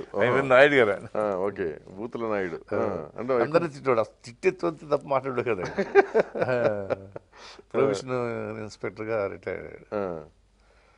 ఇంక పోలీసు కదా ఇక అందుకని ఇంక ఎక్కువ తిరుగుతూ ఉండి ఉంటారు. ఇక అది సహజంగా వచ్చి అధికార దర్పం కూడా కలిపి. అది మా వాళ్ళే మా మా అంటే ఓన్ మార్కెట్ అనేది విజయనగరం రాజాస్కి మా వాళ్ళకే ఉంది. ఎవరికి లేవు ఓన్ మార్కెట్స్. ఆ ఓన్ మార్కెట్లో అతను రిటైర్ అయిపోయిన తర్వాత ఏమీ లేకపోతే అక్కడ పిండి మర పెట్టుకోవడానికి మా ప్లేస్ ఇచ్చారు. మా మార్కెట్లో. ఆ పిండి మర పెట్టుకునే ఆయన మా నాయుడు గారు అక్కడ ఉండేవాడు అనమాట ఇతను అప్పుడప్పుడు వెళ్తుండే వెళ్తాను అన్నాడు నాకు తెలియదు. అక్కడ వెళ్తు ఉన్నప్పుడు తాతగారి కోసం వెళ్తుండేవాడేమో మీకు అక్కడక్కడ చెన్నైలో మీరు అప్పటికే ఎస్టాబ్లిష్ అయ్యాక ఆయన వచ్చాడు కదా? మీరు అంతే కదా? పంపించారు కదా మనవరి పనులు అదే అది ఫస్ట్ అవకాశం ఇచ్చిందని మీరు? ఫస్ట్ అంటే అతను రాళ్ళు ఏదో సినిమాలో చేశాడు అన్నారు. అతను. కానీ ఇతను బాగుంటాడు మనవాడు కదా అని చెప్పి ఊరు అభిమానంతో ఇచ్చారా? ఊరంటే అదే. మనిషిని చూసి బాగా ఉన్నాడు. ఊరు అనేది ఏమో తెలియదంత అది కూడా ఉంటూనే ఉందేమో లోపల కానీ. అదే కొద్దిగా ఎక్కడ పడి ఉంటాం. అంటే తర్వాత. అదే. అంటే. సినిమాలో ఇచ్చినప్పటికి అలాంటి ఉద్దేశం నాకు లేదని చెప్తాను నేను. ఉందని కాదు నేను లేదని చెప్తాను. పనులు చేస్తారు అబ్బాయి బాగున్నాడని చేస్తారు తర్వాత తెలిసిన తర్వాత అతను బాగా గౌరవించేవాడు అనమాట మా ఊరేడు కదా పలానా పలానా తలగో పలానా నాయుడు గారు మనవాడు అతను దగ్గర కూర్చోబెట్టుకుని చేసి మాతో పాటు ఫీల్. అంతే అందరినీ మామూలుగా చూసేవాడు అనుకోండి మేము. అలాగే ఇతను కొంచెం గౌరవం. నేను అనే గౌరవం ఎక్కుతానంటే పట్టుకెళ్ళి. అట్లా సరదాగా ఉండేది అనమాట కానీ అసలు మీకు అంటే సడన్గా మీరు ఇంతకుముందు అంటే ఇండస్ట్రీలో ఉన్నప్పుడు కానీ తర్వాత చాలా సందర్భాల్లో ఎప్పుడు కూడా మీరు సినీ- రాజకీయాలతో సంబంధం లేదు మీకు అసలు. మీరు చాలా దూరంగా ఉండేవాళ్ళు. అంటే ముందు రాజకీయం అది. First family. స్టూడెంట్ డేస్ సినిమాకి వచ్చిన తర్వాత అంటే దాదాపు పాతి ముప్పై సంవత్సరాల సంబంధాలు పోయినాయి. సంబంధాలు పోయినాయి అంటే కాదు. అంటే ధ్యాస లేదు. ఎలక్షన్లు వచ్చినప్పుడు మళ్ళీ అక్కడికి వెళ్తుండేవాడిని. కానీ ధ్యాస తక్కువగా? అవును. ఆ ఇంట్రెస్ట్ అనేది లోపల ఉన్నా కానీ ఇక్కడ అది. కాన్సన్ట్రేషన్. ఇంక నేను చెప్పాను కదా ప్రపంచం లేదు మనకి జ్ఞాపకం ఉండదని అదే అందుకే నేను అనేది మరి ఎందుకు వచ్చింది అసలు ఈ ఆలోచన మళ్ళీ రాజకీయాల్లోకి రావాలని? రాజకీయాల్లో రావాలని ఆలోచన అంటే రాజీవ్ గాంధీ గారు ఆయన అంటే ఫస్ట్ అంటే చెప్పాను కూడా ఇంటర్వ్యూలో కూడా ఇంటర్నేషనల్ ప్రెస్ కాన్ఫరెన్స్ నేను చూశాను. కొత్తవాడు ఎక్కడో పైలట్ కానీ ఎక్కడో ఎట్లేనో ఎక్కడ ఉండేవాడు. ఎట్లే అనుకుని మామూలుగా ఇస్తే ప్రతి పాయింట్కి కూడా ఆల్ ఆస్పెక్ట్స్ ఎక్కడ తణుకోకుండా సమాధానం చెప్పాడు. మీరు మామూలుగా ఇంటర్నేషనల్ ప్రెస్ అంటే ఎంత. స్టాల్ వర్డ్స్ ఎంత ఇంటెలిజెన్స్ ఎంత ఎక్స్పర్ట్స్ ఉంటారు అంటే వాళ్ళందరూ. ఎక్కడ తొనకుండా సమాధానం చెప్పాడు. నాకు చాలా ఆశ్చర్యం వేసింది. అదే ఆశ్చర్యం నాకు Jayalalithaa first interview press conference first conference నేను ఏం చెప్పానంటే లలిత నువ్వు నీ ఈ చదువుకి నువ్వు చదువున్న చదువుకి దీన్ని కన్వర్ట్ చేసి ప్రపంచ జ్ఞానానికి నువ్వు కన్వర్ట్ చేసుకుంటే పొలిటికల్ కన్వర్ట్ చేసుకుంటే నేను అంత గొప్ప వాళ్ళకి ఎవరు ఉండరు చెప్పాను ఉమ్. ఆవిడ ఎంటర్ అయ్యేటప్పుడు పాలిటిక్స్లో అప్పుడు. మామూలుగా ఎప్పుడో అదే ఫ్రెండ్లీగా ఆ ఉంటుంది తర్వాత కూడా మళ్ళీ ఒకసారి three four years five five six years back ఆవిడ మళ్ళీ మళ్ళీ చీఫ్ మినిస్టర్ ముందు ఓడిపోయిన తర్వాత కలిసినప్పుడు ఫార్టీ ఫైవ్ మినిట్స్ కూర్చొని మాట్లాడుకున్నాను ఏమండి మీరు ఎలా కన్వర్ట్ అయ్యారు? ఇలా ఇంత తొందరగాని ఆ, రాజకీయంలోకి సినిమా యాక్టర్గా ఉండి ఇన్ని సంవత్సరాలు అని అడిగింది ఆవిడ.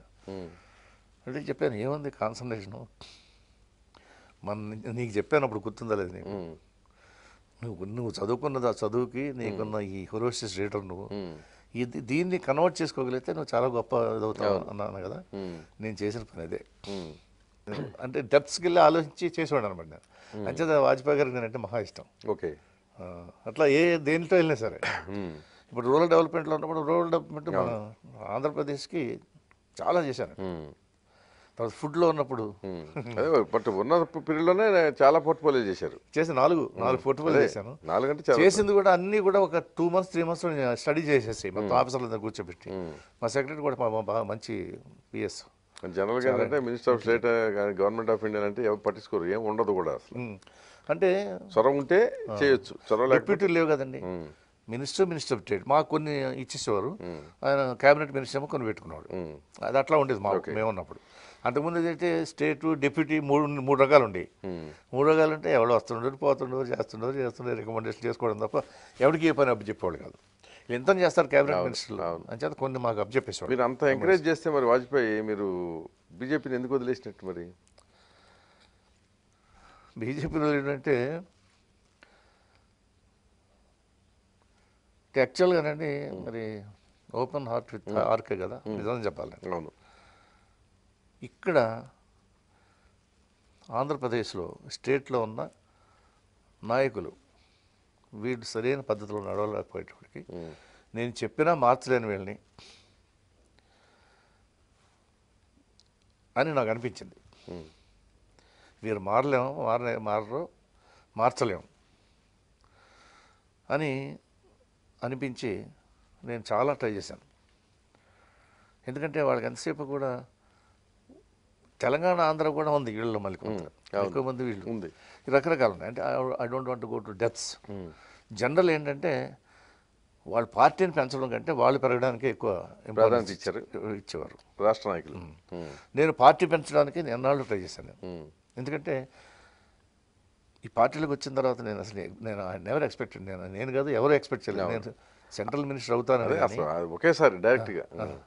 సెంట్రల్ మినిస్టర్ అవుతానని కానీ లేదా ఇంకో రకంగా కానీ ఎవరు అనుకోలేదు నేను అనుకోలేదు.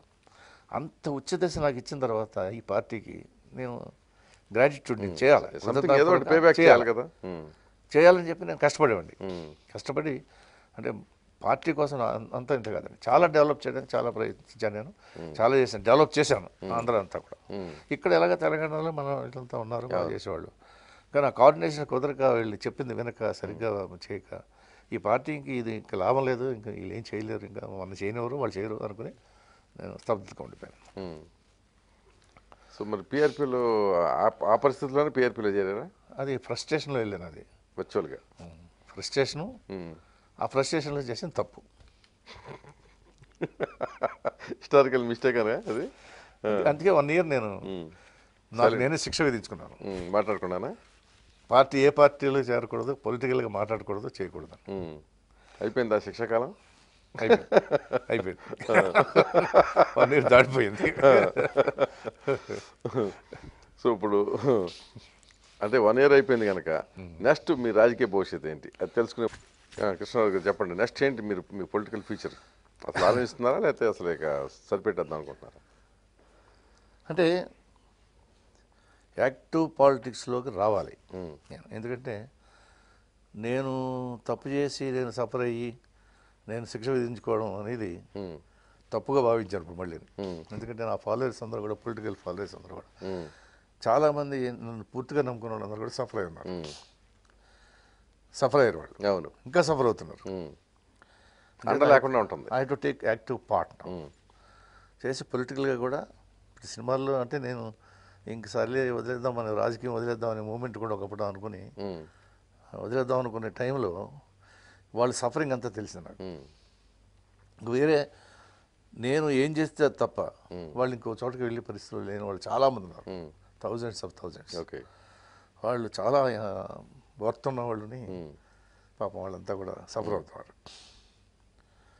సో అంచేత వాళ్ళ కోసం అయినా మళ్ళీ నేను యాక్టివ్ పార్ట్ తీసుకోవాలి అనే నిర్ణయానికి ఈ మధ్యన వచ్చాను. ఏం చేస్తాం అనేది ఇంకా నిర్ణయం తీసుకోలేదు. ఏ పార్టీ ఏంటి ఏ పార్టీ ఏంటి ఎలాగ వెళ్దాం అనేది. ఓకే ఫ్యామిలీ విషయం వద్దాం. మీకు పిల్లలు ఎంతమంది? నాకు అంటే మీకు తెలుసు కదా ఇద్దరు వైఫ్ ఫస్ట్ వైఫ్ చనిపోయారు కదా.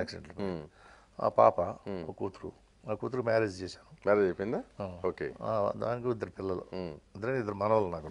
ఇప్పుడు మనవాళ్ళు ఇద్దరు. ఆడపిల్లలే. ఓకే ఇద్దరు ఆడపిల్లలు సరే ఇక్కడ ముగ్గురు ఆడపిల్లలు. మనవలు ఆడపిల్లలే కూతురు నలుగురు ఆడపిల్లలు. అంటే ముగ్గురు మా ఆడపిల్లలు పుట్టారంటే మనోడు కొడుకు కోసం ట్రై చేసి ఉంటారు మీరు. ఆ మూడోది. అదే కదా? కరెక్టే. చేసాం కానీ మూడు ఆడపిల్లలు పుట్టారు ఇంకా మానేసాం. చాలా. సో కొడుకు లేడని అస- అసంతృప్తి ఎక్కడన్నా ఉందా? లేదు. అసలు లేదు. సహజంగా ఉంటుందిగా కొంత? ఉంటుందేమో కానీ అంటే నేను కొంచెం ఈ హిందూ మతం పద్ధతి కొన్ని కొంచెం అలవాటు చిన్నప్పటి నుంచి ఉంది కనుక భారత భాగవతాలు నేను చదివినవాడు కనుక. స్వామి చిన్నమంది రాసిన ఒక సోల్ ఆఫ్టర్ డెత్ అనేది ఒక బుక్. అంటే చనిపోయిన తర్వాత ఈ కర్మక్రియలు చేయడం. అలాంటిది ఏమైనా ఆలోచించినప్పుడు కొడుకులు లేదేమని ఫీలింగ్ ఉంటుంది కానీ ఇంకా నా బ్రదర్కి ఇద్దరు కొడుకులు ఉన్నారు వాళ్ళు కూడా నా కొడుకులాగే ఉన్నారు. అంచేత ఆ తేడా నాకు ఎప్పుడు అనిపించలేదు. ఇప్పుడు సినిమాల్లోకి వచ్చినప్పటికి ఇక మీ కదా ఉమ్, ఇంకా ఎవరన్నా ఉంటే ఇంకెవరున్నారు? ఉమ్. అంటే మీరు నాకు గుర్తించారా వారసుడని? ఎవరిని? ప్రభాస్ని. గుర్తించడం అంటే గుర్తించడం అంటే నేను అనేది ఆ స్థాయికి చేరాడని మీకు నమ్మకం వచ్చిందా? అంటే చాలా క్వాలిటీస్ నాలో ఉన్న క్వాలిటీ చాలా ఉన్నాయి అతను. అంటే నేను చెప్పాను కదా మీకు ఆ ఈగోయిజం లేకపోవడం అందరితోటి. కలుపుకోలుకుంటాం. చాలా మంచి బిహేవియర్ ప్రతి వాళ్ళు కూడా అతని గురించి మంచిగా మంచిగా చెప్తారు.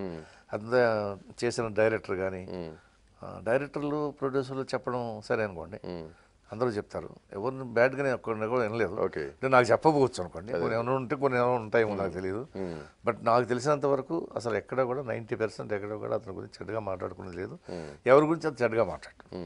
సో ఇండస్ట్రీలో ఉన్నప్పుడు మిగతా హీరోలతో మీకు సఖ్యత ఉండేదా? బాగా. ఇప్పుడు క్లోజ్గా అందరూ కలిసి తిరుగుతున్నాడు ఒక చోట మీటింగ్ పెట్టేవాడిని కూర్చునేవాడు సరదా కాఫీలు గీజులు భోజనాలు కూడా చేసేవాడు అందరూ. ఎవరితో కూడా గొడవలు ఎప్పుడు లేదు. అంటే ప్రొఫెషనల్గా కొంచెం మామూలుగా ఏంటంటే కళాకారులకి అసూయ కొంచెం ఉంటుంది ఒక పాలు. సహజం కదా? నేను ఎక్కడ చూడలేదండి. మా మా శోభన్ బాబు కృష్ణ నేను ఇంకా చంద్రమోహన్ వీళ్ళంతా రామ్మోహన్ తర్వాత ఇంకో కేఎన్ కేఎన్ నాగేశ్వరరావు అని ఎల్వి ప్రసాద్ గారు ఇంట్రొడ్యూస్ చేశారు. అతను ఒక్కళ్ళు మాత్రం నేను కొంచెం చూశాను. మిగతా వాళ్ళు అందరూ కూడా చాలా హ్యాపీగా చాలా కానీ ఇప్పుడు వాళ్ళు అట్లా లేరుగా? అంటే ఒక రకంగా అంతకంటే బాగున్నారు అనిపిస్తుంది నాకు. మీకు బాగా నచ్చిన హీరోయిన్ ఎవరు? అంటే నచ్చడం అంటే రెండు రకాలుగా. పర్ఫార్మెన్స్ వైజ్ అదర్వైజ్ కూడా. అంటే పెర్ఫార్మెన్స్ వైజ్ అన్ని రకాల కంటే జయసుధ. చేసేది జయసుధ ఎందుకంటే కొన్ని కొన్ని క్యారెక్టర్స్ కొన్ని కొన్ని సీన్స్లో మేము. ఇద్దరం చాలా ఇంటిమేట్గా ఇంటిమేట్ కాదు. అంటే ఆ సీన్ పెంచడానికి. పోటీ పడేవాళ్ళు. సీన్ పెంచడానికి కోఆపరేట్ చేసుకున్నాడు ఓకే. ఇంక నేను ఒక్కొక్కసారి ఒక్కొక్కసారి అంటే ఒక హీరోయిన్ తోటి పెద్ద సీన్ మంచి సీన్ చేయాలనుకోండి. చేసినప్పుడు నేను చేసేస్తా ఉంటే వాళ్ళు సరిగ్గా రాకపోయేటప్పుడు సీన్ బ్యాలెన్స్ కాక నేను తగ్గాల్సి వస్తుంది. అలాంటిది ఎప్పుడూ నాకు జయసూత్రలో కనిపించలేదు. ఓకే. పోటీ పడేది ఆవిడ. సరిపోయేది. ఈక్వల్గా వచ్చేసి. సో అంటే మీ ఒక రకంగా మీకు బాగా ఇష్టమైన హీరోయిన్ ఆవిడ. అంటే డెబ్బై సినిమాలు ఎనభై సినిమాలు చేసాం ఇద్దరితో ఎక్కువ అనుకుంటా కదా కాంబినేషన్. తర్వాత? గ్లామర్గా ఎవరు ఆకట్టుకుంటారు మిమ్మల్ని? గ్లామర్ శ్రీదేవి. కొన్ని పిచ్చి నేను చేసింది ఎనిమిదో ఏడో ఎనిమిది చేశాను అంతే. గ్లామర్గా ఆర్టిస్ట్గా కూడా. అంటే నేను చెప్పేది అది కోఆర్డినేషన్ కొన్ని ఇంత ఇంటర్మీడియట్ సీన్లు ఇంత మంచి సీన్లు మేము మాకు కుదరలేదు. సీన్లు గ్లామర్ పాటలు అవి ఇవి చేయడం తప్ప కొన్ని కొన్ని సీన్లు బాగా చేసింది అనుకోండి డిఫరెంట్గా అండర్స్టాండింగ్. సో మొత్తం అంటే మీరు మామూలుగా ఏంటంటే ఇప్పుడు మీరు చెప్పిన దాని ప్రకారం చాలా యథాలాపంగా మీ జీవితంలో చాలా సంఘటనలు జరిగిపోయాయి. ఏదో పెద్ద ప్లాన్డ్ స్కెచ్ చేసినవి ఏం కాదు. కదా? ప్లస్ సరదాగా సాగిపోయే జీవితం. పొలిటికల్గా కూడా స్కెచ్ చేసింది కాదు. అన్న సరదాగా సాగిపోయిన జీవితం. బట్ మీకు బాగా కష్టం అనిపించిన సన్నివేశం ఏదైనా సంఘటన ఏదైనా ఉందా మీకు? మనసు కష్టపెట్టిన సంఘటన. ఉంది. అది చాలా పెద్ద ఇదైపోయింది ఒక మూమెంట్లో అది. నేను ఒక సినిమాలో ప్రొడ్యూసర్ నన్ను బుక్ చేసుకున్నాడు. ఆ తర్వాత మరి ఏమైందో ఏంటో అది వేరే మళ్ళీ వేరే హీరోకి వెళ్ళింది. అతను నాకు కొంత డబ్బు ఇచ్చాడు అడ్వాన్స్. సో నేను వేరే పెట్టుకునేందుకు ఫీల్ అవ్వదు ఏం లేదు. పెద్ద మనిషి దగ్గర పెట్టాడు అనమాట ఉమ్, డివిఎస్ రాజు గారు పెద్ద మనిషి. ఆయన దగ్గర పెట్టాడు. ఏదో డబ్బు అడ్వాన్స్ ఇవ్వమని ఇవ్వాలని. ఏదో చెప్తున్నాడు అనమాట అలా అలా అంటే తిరిగి తీసుకోవడానికి మరి కష్టం కదా ఇచ్చిన తర్వాత. నన్ను నేను నేను చేయనంటే అడగొచ్చు. అవును. కాదని వేరే మాట్లాడుకుంటే కుదరదు కదా. అవును. అని చేత అక్కడికి వెళ్తే నేను ఇంట్లో ఉన్నాను. పక్కనే ఇల్లు ఆయన కూడా. అంటే ఆయన ఫోన్ చేశారు. మీరు ఖాళీగా ఉంటే స్టూడియోకి వచ్చారట కదా ఇప్పుడే. కొంచెం మీరు ఖాళీగా ఉంటే నేను వస్తాను వద్దండి నేనే వస్తాను. రాజు గారు డివిఎస్ రాజు ఆ, గారు నేనే వస్తాను. ఒక పది నిమిషాలు వస్తానని చెప్పాను. స్నానం చేసి వెళ్ళాను. వెళ్ళేటప్పటికి ఆయన మొదలు స్టార్ట్ చేశారు అనమాట ఇలాగా అడ్వాన్స్ ఇచ్చేట్టు కదా. ఉమ్, మీరు ఏం చెప్పదలుచుకున్నారో ఏం అడగదలుచుకున్నారో నాకు తెలుసు. రెండు జేబుల నుంచి రెండు పదులు కట్ హండ్రెడ్ పీస్ నోట్లు కట్టలు ఉమ్, పదివేలు పదివేలు కట్ తీసి టేబుల్ మీద పెట్టి. ఇదే ఉంటుంది ఇదే అడుగుంటాడు తను వాడి సంగతి నాకు తెలుసు. నేను అడగట్లేదండి. వాడు ఎందుకు నన్ను తీసి పెట్టుకున్నాడని నాకు ఆ కర్మ లేదు. నాకు సినిమా పోయిందని నాకు బాధ లేదు. బట్ వాళ్ళు అక్కడ ఒక మీటింగ్ పెట్టారు. వాళ్ళు డైరెక్టర్లు అందరూ కలిసి. మా బ్రదరు ఆయన చంపేస్తానని కూర్చున్నాడు. మా అన్నయ్యని ఇరిటేట్ చేశారు. దీనివల్ల ఆయన ఇరిటేట్ అయితే అసలు ఎవడో బాగుపడ్డు. అని చేత నేను ఏమైనా సరే అని కూర్చున్నాడు. అంటే నేను చెప్పాను వదిలే అని. అంటే యాక్చువల్గా నేను నిజంగా బాధపడింది అప్పుడే. ఎందుకు బాధపడ్డానంటే నన్ను అన్పాపులర్ చేస్తున్నారు వీళ్ళు పోనీ ఎందుకు ఇది. అన్పాపులర్ ఎందుకు చేయాలి? అది అడిగిన విషయం కాదు. అడిగితే ఇచ్చేసేవాడు నేను. అడిగేవచ్చు కదా డైరెక్ట్గా అడగలేక ఎలా వచ్చి వాళ్ళంతా నాటు నాటకమాడుతున్నారు. ఉమ్, ఎందుకు చేస్తున్నారు ఇలా? మరి ఆ డైరెక్టర్ కన్నా బుద్ధి ఉండాలి. ఆ ప్రొడ్యూసర్ కన్నా బుద్ధి ఉండాలి చెప్పి మా వాడు చాలా ఇది చేస్తే నేను వీడిని సముదాయించినా లేకపోతే దాని గురించి ఇండస్ట్రీలో వస్తుంది దాని గురించి మాట్లాడినా అని చాలా స్ట్రగుల్ అయ్యాను. స్ట్రగుల్ అయ్యి ఆఖరికి ఎప్పుడైతే దివస్ ఫోన్ చేశారో తమ్ముడు ఊరుకో నేను వెళ్తాను వద్దు మీరు వెళ్ళొద్దు వెళ్ళొద్దు. అంటే అక్కడ ఏమన్నా అంటానమ్మా అదే. ఏం లేదు జేబులో పెట్టుకుని వెళ్ళి. ఏమండి ఇంక మిగతా విషయాలు ఏమొద్దు. ఇక్కడి నుంచి ఆపుతారా వాళ్ళు? దీంతో ఆపేమన్నాడు దీనికోసమే వాళ్ళు మాట్లాడుతున్నారు నాకు అనుకుంటాను నేను. ఇది సరిపోదు కదా? కానీ ఇప్పుడు వాళ్ళు చేసిన దానికి దీనికోసం వాళ్ళు చేసిన తప్పుడు పనులన్నింటికి కూడా శిక్ష అనుభవించడానికి మా వాడు రెడీగా ఉన్నాడు చంపేస్తాను అన్నాడు. శిక్ష వేయడానికి. శిక్ష వేయడానికి రెడీగా చంపేస్తానంటాడు. మామూలు కాదు. దాన్ని అతను చేయడానికి నాకు టైం పడుతుంది. ఒకవేళ నా చేతులు లేకపోతే మీరే చేసుకోవాలి. దీన్ని కాంప్రమైజ్ చేయడం అక్కడ కాంప్రమైజ్ చేయడానికి రావాలి మీరు. అని చెప్పి వచ్చాను. నిజంగా ఐ వాజ్ చాలా అసలు అప్సెట్ అయ్యారు. అప్సెట్ అయ్యారు. చాలా అప్సెట్ నేను జీవితంలో ఎప్పుడూ అప్సెట్ అవ్వలేదు. రెండు మూడు రోజులు నిద్ర లేకుండా గడిపిన రోజులు కూడా ఉన్నాయి ఉమ్. ఇరవై వేలేనా మొత్తం? అడ్వాన్స్ వాడు అడ్వాన్స్ ఇచ్చింది అంతే. అంతే వాడు దానికోసం అని నేను అనుకోలేదు అసలు. ఎవరా ప్రొడ్యూసర్ చెప్పగలరా? చనిపోయాడు పాపం లేడు G VS Raju GS Raju ఏదో. ఓకే. చనిపోయాడు? రైట్. సో ఇక నెక్స్ట్ మీకు ఫ్యూచర్ అంబిషన్ ఏంటి? ఏమంతా అచీవ్ చేసింది ఏమీ లేదు యాక్టింగ్గా ఏదో చేసిన క్యారెక్టర్లు బాగా చేశానని కానీ ఏదో గొప్పగా చేసేసానని ఏమీ లేదు. కొన్ని క్యారెక్టర్లు బాగా చేసాం అది- చేసినప్పుడు ఆ క్యారెక్టర్ తృప్తి. బట్ ఏదో ఇంకా ఇంకా జీవితంలో నేను పోయిన తర్వాత కూడా జ్ఞాపకం ఉండి పరిస్థితులు అనేది ఏమీ చేయలేదు. సో చేయాలని అనుకునేది ఏంటంటే నా అంబిషన్ ఏంటంటే రామారావు గారు మీకు సినిమాలు గుర్తున్నాయి? బేదల పాటలోని పిచ్చిపల్లి అనే రెండు సినిమాలు తీసాడు అవును. ఆ- రెండు సినిమాలని చాలా రియలిస్టిక్ని చాలా అవును. గ్లామర్ గ్లామర్ కూడా గ్లామర్తో. ఈ గ్లామర్తో చేసిన సినిమాలు. అంటే సినిమా ప్రొడ్యూస్ చేశాడు ఆయన. అవును. ప్రొడ్యూస్ ఆయన రైటర్. ఆయన రైటర్ అన్నీ ఉన్నాయి ఆయన లక్షణాలు టెక్నికల్గా బాగా అవగాహన కూడా ఉంది. కమాండ్ అటువంటి వాడు జయసింహ సక్సెస్ అవడంతో మొత్తం ట్రెండ్ మార్చేసాడు ఆయన. ప్రజలకు ఇది కావాలి కదా దీనికే చేద్దాం అని చెప్పి కాన్సన్ట్రేట్ చేసి మొత్తం పురాణ బ్రహ్మగా మారిపోయాను సో ఆయన చేయగలిగాడు. కానీ నేను చేయలేకపోయాను. నా ఉద్దేశం ఏంటంటే సచిత్రే ఉన్నాడు. మృళాన్ సేన్ ఉన్నాడు. మన తెలుగులో ఒక్కడు అలాంటి సినిమా తీయలేదు. అట్లాంటి సినిమాలు తీస్తే చూసేవాళ్ళు ఇప్పుడు ఉన్నారా? ఇప్పుడు చూస్తారు. ఇప్పుడు చూస్తారు. అప్పుడు చూడలేదు. బట్ అవార్డులే వచ్చి. కానీ అవార్డు అంటే మరి ఆంధ్రప్రదేశ్కి రాలేదు ఇప్పటివరకు అని. లేదు. అది కూడా లేదు. అవార్డు తీసుకు అందరం అద్దాన్ని తీసుకురావాలి కదా. ఆ లెవెల్కి కూడా మనం వెళ్ళలేకపోయాం కదా. అలాగే వెళ్ళాలనే ఉద్దేశం నాకు ఉండేది అనమాట ఉమ్, అలాంటి సబ్జెక్టులు కూడా నాలుగైదు సబ్జెక్టులు వర్కౌట్ చేసుకుని పెట్టుకున్నాను సో అలాగా ఒక మంచి సినిమా బాగా తీయాలని నా ఉద్దేశం. మంచి సినిమాలు తీయాలి అలా డైరెక్ట్. స్థాయిలో మనకు ఒక స్థాయిలో మన. పేరు తీసుకొచ్చి చేయాలని. అలాగే కొంతవరకు సక్సెస్ అయ్యాం కానీ ఇప్పుడు కృష్ణవేణి తీసాం ఆ రోజే యాంటీ సెంటిమెంట్. పడదన్నారు. తర్వాత అమరదీపం రెబల్ ఫైట్ చేయకపోతే కుదరదన్నారు. ఒక ఫైట్ లేకుండా తీసాం. తర్వాత భక్తి కన్నప్ప పురాణం.